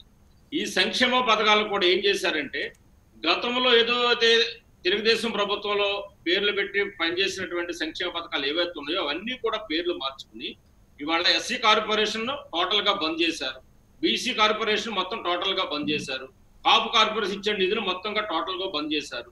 బంద్ చేసి వీళ్ళు ఇచ్చినటువంటి వాళ్ళు ఏదైతే అమ్మఒడి కానీ ఇతర పథకాలు కానీ ఏవైతే పెట్టారో పేర్లు ఏవైతే ఏవి ఉన్నాయో ఇవన్నిటికీ కూడా డబ్బుల్ని కూడా డైవర్ట్ చేసి వీళ్ళు పర్సనల్ ఎజెండాగా తీసుకొని వాటర్స్కి ఏంటంటే అది కూడా మళ్ళీ అందరికీ కాదు. కొద్ది మందికి మాత్రమే ఈ డబ్బుల్ని పర్సనల్ అకౌంట్లో వేసుకుంటూ వస్తూ అది ఒక సంక్షేమ కార్యక్రమంగా తీసుకొని ముందుకెళ్తున్న పరిస్థితి ఉందో తప్ప ఈ రాష్ట్రాలకు సంబంధించినటువంటి పరిశ్రమల గురించి కానీ ప్రాజెక్టుల గురించి కానీ ఈ రాష్ట్రానికి సంబంధించిన ఇతర డెవలప్మెంట్స్ గురించి కానీ ఈ రాష్ట్రంలో ఎన్ని డెవలప్మెంట్ చేసుకుంటే కనుక నిరుద్యోగులకు ఉద్యోగాలు వస్తాయి రాష్ట్రానికి ఆదాయం పెరుగుతుంది అనేటువంటి కోణాలు పూర్తిగా పక్కన పెట్టి ఇవాళ గతం ఐదు సంవత్సరాల్లో కనుక ఈ గతంలో చంద్రబాబు గారు చేసినటువంటి అప్పుకు చూసుకున్నట్లయితే రాష్ట్ర ప్రభుత్వంలో చూసుకున్నట్లయితే కనుక ఇవాళ వీళ్ళు ఎంత అప్పు చేసేస్తున్నారో ఇవాళ ఈ దేశంలో ఉన్నటువంటి బ్యాంకులు కానీ దేశంలో ఉన్నటువంటి వాళ్ళందరూ కూడా అయిపోయారు ఇప్పుడు.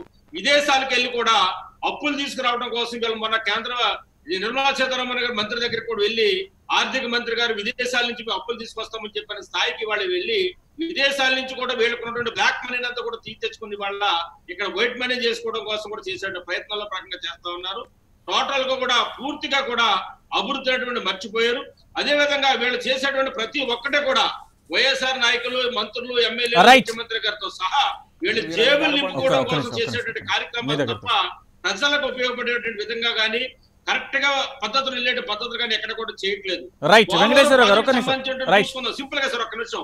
ఇవాళ టెండర్లు మార్చే పరిస్థితి చేశారు. ఇవాళ టెండర్లు ఎవరికి ఇచ్చారని చెప్పని అడుగుతా ఉన్నా. ఇవాళ మూడు రాజధానులు కుంపడానికి తీసుకొచ్చారు ఇవాళ. దేశ చరిత్రలో ఏ దేశంలో కూడా లేనటువంటి దాన్ని త్యాగాలు చేసి రైతులు ముప్పై మూడు ఎకరాల భూమిని రైట్ రైట్ మళ్ళీ మళ్ళీ మళ్ళీ అది వేరే చర్చ అవుతుంది. రైట్ రైట్ ఒక్క నిమిషం ఒక్క నిమిషం. మళ్ళీ దాంట్లోకి వెళ్తే ఏదైతే మీ ప్రభుత్వానికి సంబంధించి పరిపాలన వ్యవహారానికి సంబంధించి అప్పటి వ్యవహారాలు చర్చించాల్సి వస్తుంది రైట్ వెంకటేశ్వరరావు వెంకటేశ్వరరావు గారు ఒక్క నిమిషం హోల్డ్లో వ్యాపారాలు ఉండండి. వెంకటేశ్వరరావు గారు ఒక్క నిమిషం. మళ్ళీ మీ దగ్గరికి వస్తాం. రైట్ శర్మ గారు శర్మ గారు.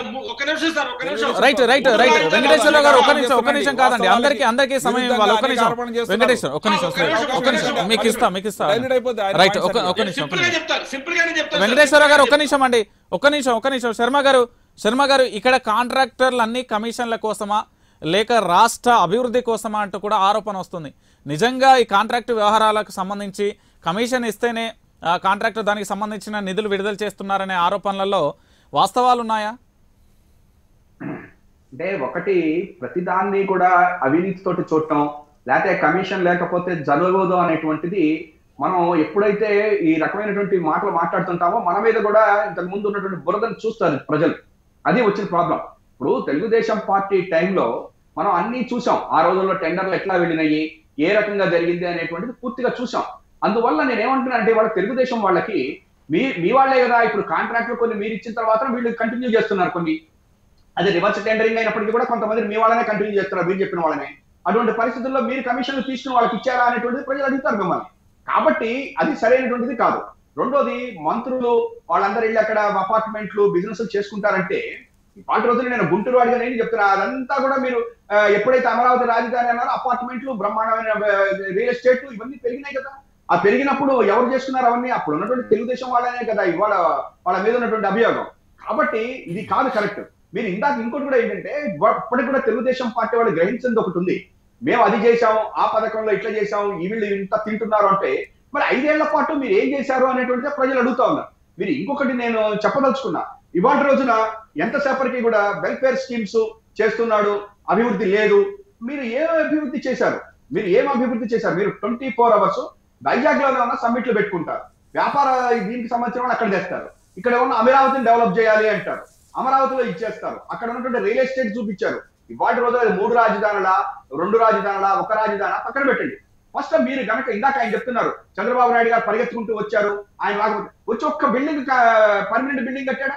ఒక్కటి ఇది సెక్రటేరియట్ బిల్డింగ్ అని పర్మనెంట్గా ఒక్కటి కట్టి ఉన్నట్టుంటే ఇవాటి రోజు మనకి ఇబ్బంది ఉండేది కాదు. అన్ని temporary temporary high court temporary secretariat temporary Raj Bhavan temporary ఈ temporary temporary right right right Sharma garu Sharma garu ఒక్క నిమిషం. Right right right right Telugu Desam మిత్రులు మాట్లాడుతూ ఇప్పుడు అప్పులు ఇప్పుడు చాలా ఎక్కువ చేసేస్తాను ఆయన చంద్రబాబు నాయుడు గారు అధికారం దిగే సమయానికి రెండు లక్షల అరవై ఏడు వేల కోట్ల అప్పులు చేశారండి. ఆ తర్వాత అసలు ఇక్కడ ఇక్కడ ప్రధానంగా కూడా మీరు ఏదైతే కాంట్రాక్ట్. కాంట్రాక్ట్ వ్యవహారాలకు సంబంధించి కమిషన్లు ఇస్తేనే నిధులు విడుదల చేస్తున్నారు. లేకపోతే ఎక్కడా కూడా అభివృద్ధి జరగడం లేదు. విజయవాడ వంటి నగరాలలో చిన్న వర్షానికి చిత్తడిగా మారుతుంది. అభివృద్ధి ఎక్కడా లేదనేది వారి వాదన. ఇప్పుడు వారు పచ్చ కళదాలు వేసుకున్నారు అన్ని అట్లా కనబడతాయండి. ఎందుకంటే వారిది అవినీతిమయమైనటువంటి ప్రభుత్వము. తర్వాత వచ్చిన ప్రభుత్వం అలాగే చేస్తానని అనుకోవడం వాళ్ళ భ్రమ. ఎందుకంటే పారదర్శకత అవినీతి రహిత పాలన చేస్తూనే ఉన్నాం. వంద కోట్లకు మించితే జ్యుడిషియల్ కమిషన్ వేయాలని చెప్పి అని చెప్పాం. అందులో ఎక్కడ కాంట్రాక్ట్ ఛాన్స్ ఉంటుందా అండి? ఎవరికైనా పర్సెంట్ ఇచ్చే అవకాశం ఉంటుందా?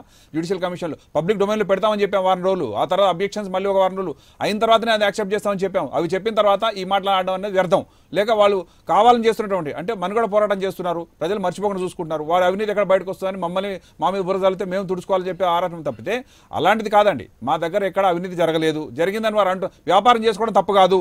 ఎవరైనా చేసుకోవచ్చు అండి. మీరు చేసుకోవచ్చు నేను చేసుకోవచ్చు రాజకీయ నాయకుడు చేసుకోవచ్చు మిగతా వాళ్ళు కూడా చేసుకోవచ్చు. దాన్ని తప్ప పట్టకండి. ఎక్కడైనా సరే ప్రభుత్వం ద్వారా లబ్ధి పొంది వారు ఎవరికి లేనట్టు అనుమతులు వాళ్ళు పొంది ఆ విధంగా వారికి ఆదాయం వస్తుంటే దాన్ని ఎండగట్టాలి తప్పితే అపార్ట్మెంట్లు కట్టేశారు. అమరావతిని కట్టామని భ్రమ పెట్టాడు. ఆల్మోస్ట్ గ్రాఫిక్స్ తోటి అమరావతి ఉందనే భ్రమ నాకు కూడా కలిగిందండి.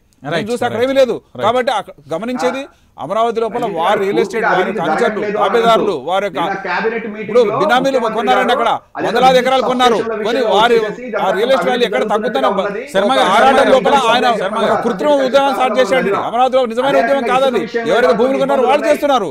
దాన్ని అది తెలుగుదేశం మాత్రమే స్పాన్సర్ చేస్తుంది. అది మీరు ఫండింగ్ చేస్తున్న ఉద్యమం కాబట్టి వారు చేస్తున్న. ఉద్యమాన్ని ఫండింగ్ చేస్తున్నారు. వాళ్ళు స్పాన్సర్ చేస్తున్నారు డైరెక్ట్ గా- ఒక ప్రశ్నకు సమాధానం చెప్పండి విపక్ష పార్టీలు ఆరోపణ చేస్తున్నట్లుగా నిజంగానే మీరు అభివృద్ధి చేయడం లేదు. కేవలం సంక్షేమ పథకాలను మాత్రమే ప్రజల దగ్గరికి తీసుకెళ్తున్నారు కానీ అభివృద్ధి ఎక్కడా చేయడం లేదనేది ఒక ప్రశ్న. ఓకే. దాంతో పాటుగా మరో ప్రశ్న ఏంటంటే ఇక్కడ ఎక్కడైనా అభివృద్ధి జరగాలన్నా కూడా అభివృద్ధి చేయాలంటే నిధులు విడుదల కావాలి. నిధులు విడుదల చేయడం లేదు. కమిషన్లు ఇచ్చి మీకు అనుకూలంగా వ్యవహరించే వారికి ఇవి ఇస్తాను. ఇది ఏ రాజకీయ పార్టీ అధికారంలోకి వచ్చినా ఇది సర్వసాధారణంగా ఉండే అంశమే. కమిషన్లు అంటే లేకపోతే మాకు అనుకూలంగా ఉన్నవారు లేకపోతే పార్టీలకు సంబంధించిన వారికి ఇస్తున్నారని. ఈ రెండింటికి ఒక క్లారిటీ ఇవ్వండి. ఇప్పుడు మీరు గమనిస్తే కమిషన్లు అన్న ఎప్పుడైతే రివర్స్ టెండరింగ్ చేశారో గత ప్రభుత్వంలో జరిగినటువంటి అవినీతి బయటకు వచ్చింది. మీరు ఏదైనా చూసుకోండి. పోలవరం చూసుకోండి. ట్వెల్వ్ పాయింట్ ఫైవ్ పర్సెంట్ తక్కువకి మెగా కంపెనీ ఒప్పుకుంది. పట్టిసీమ వాళ్ళే కట్టారు. ఈ కాళేశ్వరం ప్ర- ప్ర- ప్రతిష్టాత్మక కాళేశ్వరం వాళ్ళే కడుతున్నారు. మరి వాళ్ళు వచ్చి ముందున్న దానికి ట్వెల్వ్ పాయింట్ ఫైవ్ పర్సెంట్ ఏమైనా తక్కువగా కట్టగలుగుతారంటే దాని రివర్స్ టెండరింగ్ లోపల దాని అర్థం అక్కడ ఆ కమిషన్ ముట్టినేమో ఇప్పుడు అది ఇచ్చి అక్కర్లేదు కాబట్టి వాళ్ళు తక్కువ కోట్ చేయగలిగారు. అభివృద్ధి లేదని వీళ్ళు ఒక భ్రమ కలిగిస్తున్నారండి. అభివృద్ధి ఎలా ఉందని నేను చెప్తాను. మీరు మొట్టమొదట కియా మోటార్స్ తరలిపోతుందని చెప్పి ఓ గోల గోల పెట్టి మూడు రోజులు అవే డిబేట్లు పెట్టారు. తర్వాత వాళ్ళ కంపెనీ వాళ్ళు వాళ్ళు క్లారిటీ ఇచ్చారు. మేము ఎక్కడ పోవట్లేదండి. మేము దాన్ని ఎక్స్టెండ్ చేయబోతున్నాము. మాది మెయిన్ కంపెనీ ఇక్కడ ఉంది. యాక్సెసరీస్ కానీ స్పేర్ పార్ట్స్ కానీ ఇక్కడ పెడతామని చెప్పారు. ఆ తర్వాత పంతొమ్మిది కంపెనీల పేర్లు నేను ఇప్పుడు చెప్తా అండి. ఇవన్నీ కూడా గౌతమ్ రెడ్డి గారు లిస్టు చదివారు. అర్నాక్ అల్యూమినియం కానీ జేఎస్డబ్ల్యూ స్టీల్స్ కానీ పానాసోనిక్ కానీ ఇవన్నీ పోస్కో కానీ ఇవన్నీ వస్తున్నాయి. వాళ్ళందరూ కూడా ఆల్మోస్ట్ ఎంత అంటే పద్దెనిమిది వేల కోట్ల వరకు మేము తీసుకొస్తున్నాము. క్షేత్రస్థాయి రావడానికి కనీసం మూడు నుంచి ఆరు నెలలు పడుతుంది ఇవి మా ఎంఓఎస్ అని చూపించినా సరే అభివృద్ధి లేదు అభివృద్ధి లేదు వీళ్ళు అనేంత రకరకాల కుంటి సాకులు తప్పితే. నిజంగా అభివృద్ధి లేకపోవడం కాదండి జోడెద్దుల. బండి. తీసుకెళ్తాము. అవన్నీ క్షేత్రస్థాయి రావడం టైం పడుతుంది మేము వచ్చి సంవత్సరం అయిందండి. మీరు ఐదు సంవత్సరాలు గారు. సంవత్సరాలు మేము చేశాము మేము అధికారుల నుంచి ఐదు సంవత్సరాలు అయ్యేటప్పటి తప్పకుండా అనేక పరిశ్రమలు వస్తాయి మీకు మించినటువంటి ఆ విధంగా వస్తుంది. కాబట్టి ఆ విషయాన్ని. వెయిట్ చేయండి లోపల విమర్శలు చేయకండి రైట్ కృష్ణమరాజు గారు మొత్తానికి రెండు పరిణామాలకు సంబంధించి ఫైనల్గా ఏం చెప్తారు ఈ డిస్కషన్ ద్వారా రెండు అంశాలకు సంబంధించి. ఇక్కడ ఒకటండి ఈ రాజకీయ అంటే వ్యాపారాలు పరిశ్రమలు లేదా కాంట్రాక్టులు నడుపుకునే వ్యక్తులు రాజకీయాల్లోకి వచ్చిన తర్వాత వారి దగ్గర నుంచి మనం ప్రజాసేవను పెద్దగా ఆశించలేమండి. వారు రావటం వల్ల ఏమైందంటే రాజకీయాలు ఒక వ్యాపారమయంగా మారిని. దీన్నే మనం క్రోనీ క్యాపిటలిజం అని చెప్పి అనుకుంటూ ఉంటాం దీన్ని. అవినీతి అనేది ఏమైందంటే ఈరోజు సర్వాంతర్యామిగా మారిందండి. ఏ రాష్ట్ర ప్రభుత్వం అయినప్పటికీ కూడా ఏదైనా ఒక కాంట్రాక్ట్ ఇవ్వాలనుకుంటే ఒక ప్రాజెక్ట్ పెట్టాలనుకుంటే దాన్ని ఎగరేసుకు పోవటానికి ఆ ప్రభుత్వంలోని పెద్దలు సంబంధించిన బెనామీ కంపెనీలు కావచ్చు వారి బంధువులు కావచ్చు స్నేహితులు కావచ్చు లేకపోతే వారి సంబంధించిన వాళ్ళు కావచ్చు వాళ్ళ వాళ్ళకి వాళ్ళే తీసుకుంటారు తప్ప జెన్యున్గా నిజాయితీగా ఈ కాంట్రాక్టులు చేసే సంస్థలకు లభించడం లేదు. ఈ పొట్లు- ఉన్నారండి. మీరు నా ప్రశ్న ఇది- ఇది చెప్తాను చూడండి. ఇప్పుడు మొన్న ఈ- మధ్యన మీకు వచ్చేటప్పటికి చెప్తాను సార్ మీకు అది. One zero eight contract one zero eight contract అనేది మెయింటెనెన్స్ కాంట్రాక్ట్ ఎవరికి ఇచ్చారండి అది విజయసాయి రెడ్డి గారి వారి బంధువులకు ఇచ్చుకున్నారు అక్కడ? ఇది ఉదాహరణ మాత్రమే. దీనికి. దీనికి మినాయింపులు పెద్దగా లేవండి. ఇది చెప్తాను చూడండి శ్రీధర్ గారు. ఇటువంటి కాంట్రాక్ట్లు అనేది ఒకవేళ మీరు చిన్న వ్యాపారం మీకు లభించదండి. మీరు కూడా పెద్ద వ్యాపారం అయి ఉండాలి. మీరు ఆ కోటలో మెంబర్ అయి ఉండాలి. అప్పుడు మాత్రం మీకు లభిస్తాయి. మీరు గమ- గమనించండి అది. మీరు మీలాగే ఉంటారు మీరు అక్కడ. మీకు వందల కోట్లు ఉంటే మీకు ఎమ్మెల్యే అవుతారు. వేల కోట్లు మీరు ఎంపీ ఎంపీ అవుతారు. అంత తక్కువ ఉంటే మీరు ఎట్లాగా ఉంటారు మీరు? ఒక అధికార ప్రతిగా మీరు కొనసాగుతుంటారు మీరు అక్కడ కాబట్టి రాజకీయాల గురించి మనం ఈ ఈ ఈ రాజకీయ అవినీతి గురించి మనం నిజాయితీగా మాట్లాడుకుంటే మంచిది మనం ఎవరైనా కానీ మమ్మల్ని ఆన్సర్ ఆన్సర్ ఇవ్వనిస్తారా పోనీ. ఇప్పుడు మీరు అన్నారు ఇప్పుడు అంబులెన్స్ల గురించి కుంభకోణం జరిగిందని అంటున్నారు. అది విజయసాయి రెడ్డి గారి బంధువుకి ఇచ్చారని చెప్తున్నారు. అయితే దానిలో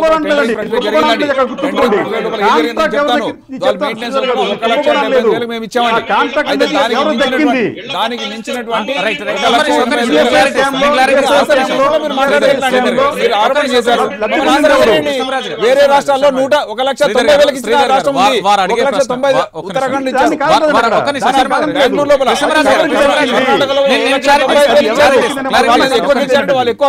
శ్రీధర్ గారు శ్రీధర్ గారు ఇక్కడ వారు అడిగే ప్రశ్న ఏంటంటే కుంభకోణం జరిగిందని కాదు. ఏదైతే రాజకీయంలో వారి బంధువులకు ఇచ్చారు ఈ బంధువర్గానికి ఇవ్వడం జర జరిగింది అనేది వారు వారు. దానికి ఆన్సర్ ఏంటి? అంటే టెండరింగ్ ప్రక్రియ లేకుండా నామినేషన్ పద్ధతులు ఇస్తే ఇది అడగచ్చండి. ప్రతి దాంట్లో టెండరింగ్ ప్రక్రియ ఉంది. ప్రతి ఒక్కళ్ళు అందులో పాల్గొనే అవకాశం. ఉంది. ఆ తర్వాత ఎల్వని ఎవరు వస్తే. వాళ్ళకి ఇస్తారు. అందరూ ఎవరు తక్కువ కోట్ వాళ్ళకి వస్తారు? ఆ తక్కువ కోట్ చేసిన వాడు కనుక రాజకీయ నాయకుడు యొక్క బంధువు అయితే అతను. బ్యాన్ చేస్తారా? అతను బార్ గారు. అట్లా- ఉండదండి. టెండరింగ్ ప్రక్రియ లేకపోతే మీరు కోర్టుకు వెళ్ళొచ్చు. ఏ ఏ అగ్రిమెంట్ అయినా సరే టెండర్ తీసుకోకుండా సపోజ్ డైరెక్ట్ నా చంద్రబాబు నాయుడు గారి పద్ధతి అదండి. నామినేషన్ పద్ధతులు ఇచ్చేవాళ్ళు. టెండరింగ్ ప్రక్రియ కాలేదని చెప్పండి. టెండరింగ్ దాని ప్రొసీజర్ మొత్తం మేము ముందు ఎవరికి పెడతాం. ఉంటే పెడతాం. తద్వారా ప్రజలకు. సంకేతం ఇద్దాం. టెండరింగ్ లేకుండా. ఎవరు పెద్ద కాంట్రాక్ట్ ఇవ్వరు. అలాంటి తప్పు ఏ ప్రభుత్వం చెయ్యదు. చేస్తే దాన్ని ప్రశ్నించే అనేక సంస్థలు ఉన్నాయి. వాటి ద్వారా తెలుసుకోవచ్చు ఎక్కడ ఇలా conclusion. కుట్రకోణం లేదండి. కుంభకోణాలు లేవు పర్సంటేజ్ లేవు. అవి చంద్రబాబు నాయుడు ప్రభుత్వం తోటి పోయినాయి. ఆ తర్వాత మేము ఇరవై సంవత్సరాలు అధికారంలో ఉండబోతున్నాము. కాబట్టి మీరు దానికోసం వెయిట్ చేయండి. కేవలం అన్ని ప్రభుత్వాలు ఒకే తాటిని కట్టేయకండి. వాళ్ళు అభివృద్ధి చేశారు మేము చేసామని ఎట్లా అంటారు మీరు? ఈనాటి హాట్ టాపిక్లో పాల్గొన్న ముప్పూడి వెంకటేశ్వరరావు గారికి అదేవిధంగా సుందర రామ శర్మ గారికి అదేవిధంగా శ్రీధర్ గారికి అదేవిధంగా కృష్ణమరాజు గారికి అందరికీ పేరు పైన కృతజ్ఞతలు. ఇక మొత్తంగా చూడొచ్చు ఏదైతే వైసీపీ ప్రభుత్వంపై ప్రధానంగా వస్తున్న ఆరోపణలకు సంబంధించి కమిషన్లకు సంబంధించిన వ్యవహారం కానీ ఎక్కడా లేదు. ఏదైతే నీతివంతంగా పాలన కొనసాగుతుంది టెండర్ ప్రక్రియలో మాత్రమే కొనసాగుతుంది అంటూ కూడా ఏదైతే ఆరోపణలు ఇస్తే ఇక పథకాల వ్యవహారానికి వచ్చినప్పటికీ కానీ ఏదైతే పథకాలు కొన్ని పక్కకు పెట్టిన పథకాలను పేరు మార్పులు మాత్రమే జరిగాయి. పథకాల ఏదైతే కొనసాగింపు జరుగుతుంది అంటూ కూడా ఇటు వైసీపీ ప్రభుత్వం ఆరోపిస్తుంది. ఇది నాటి హాట్ టాపిక్. చూస్తూనే ఉండండి. Prime news. నిజం ఇదే మైజం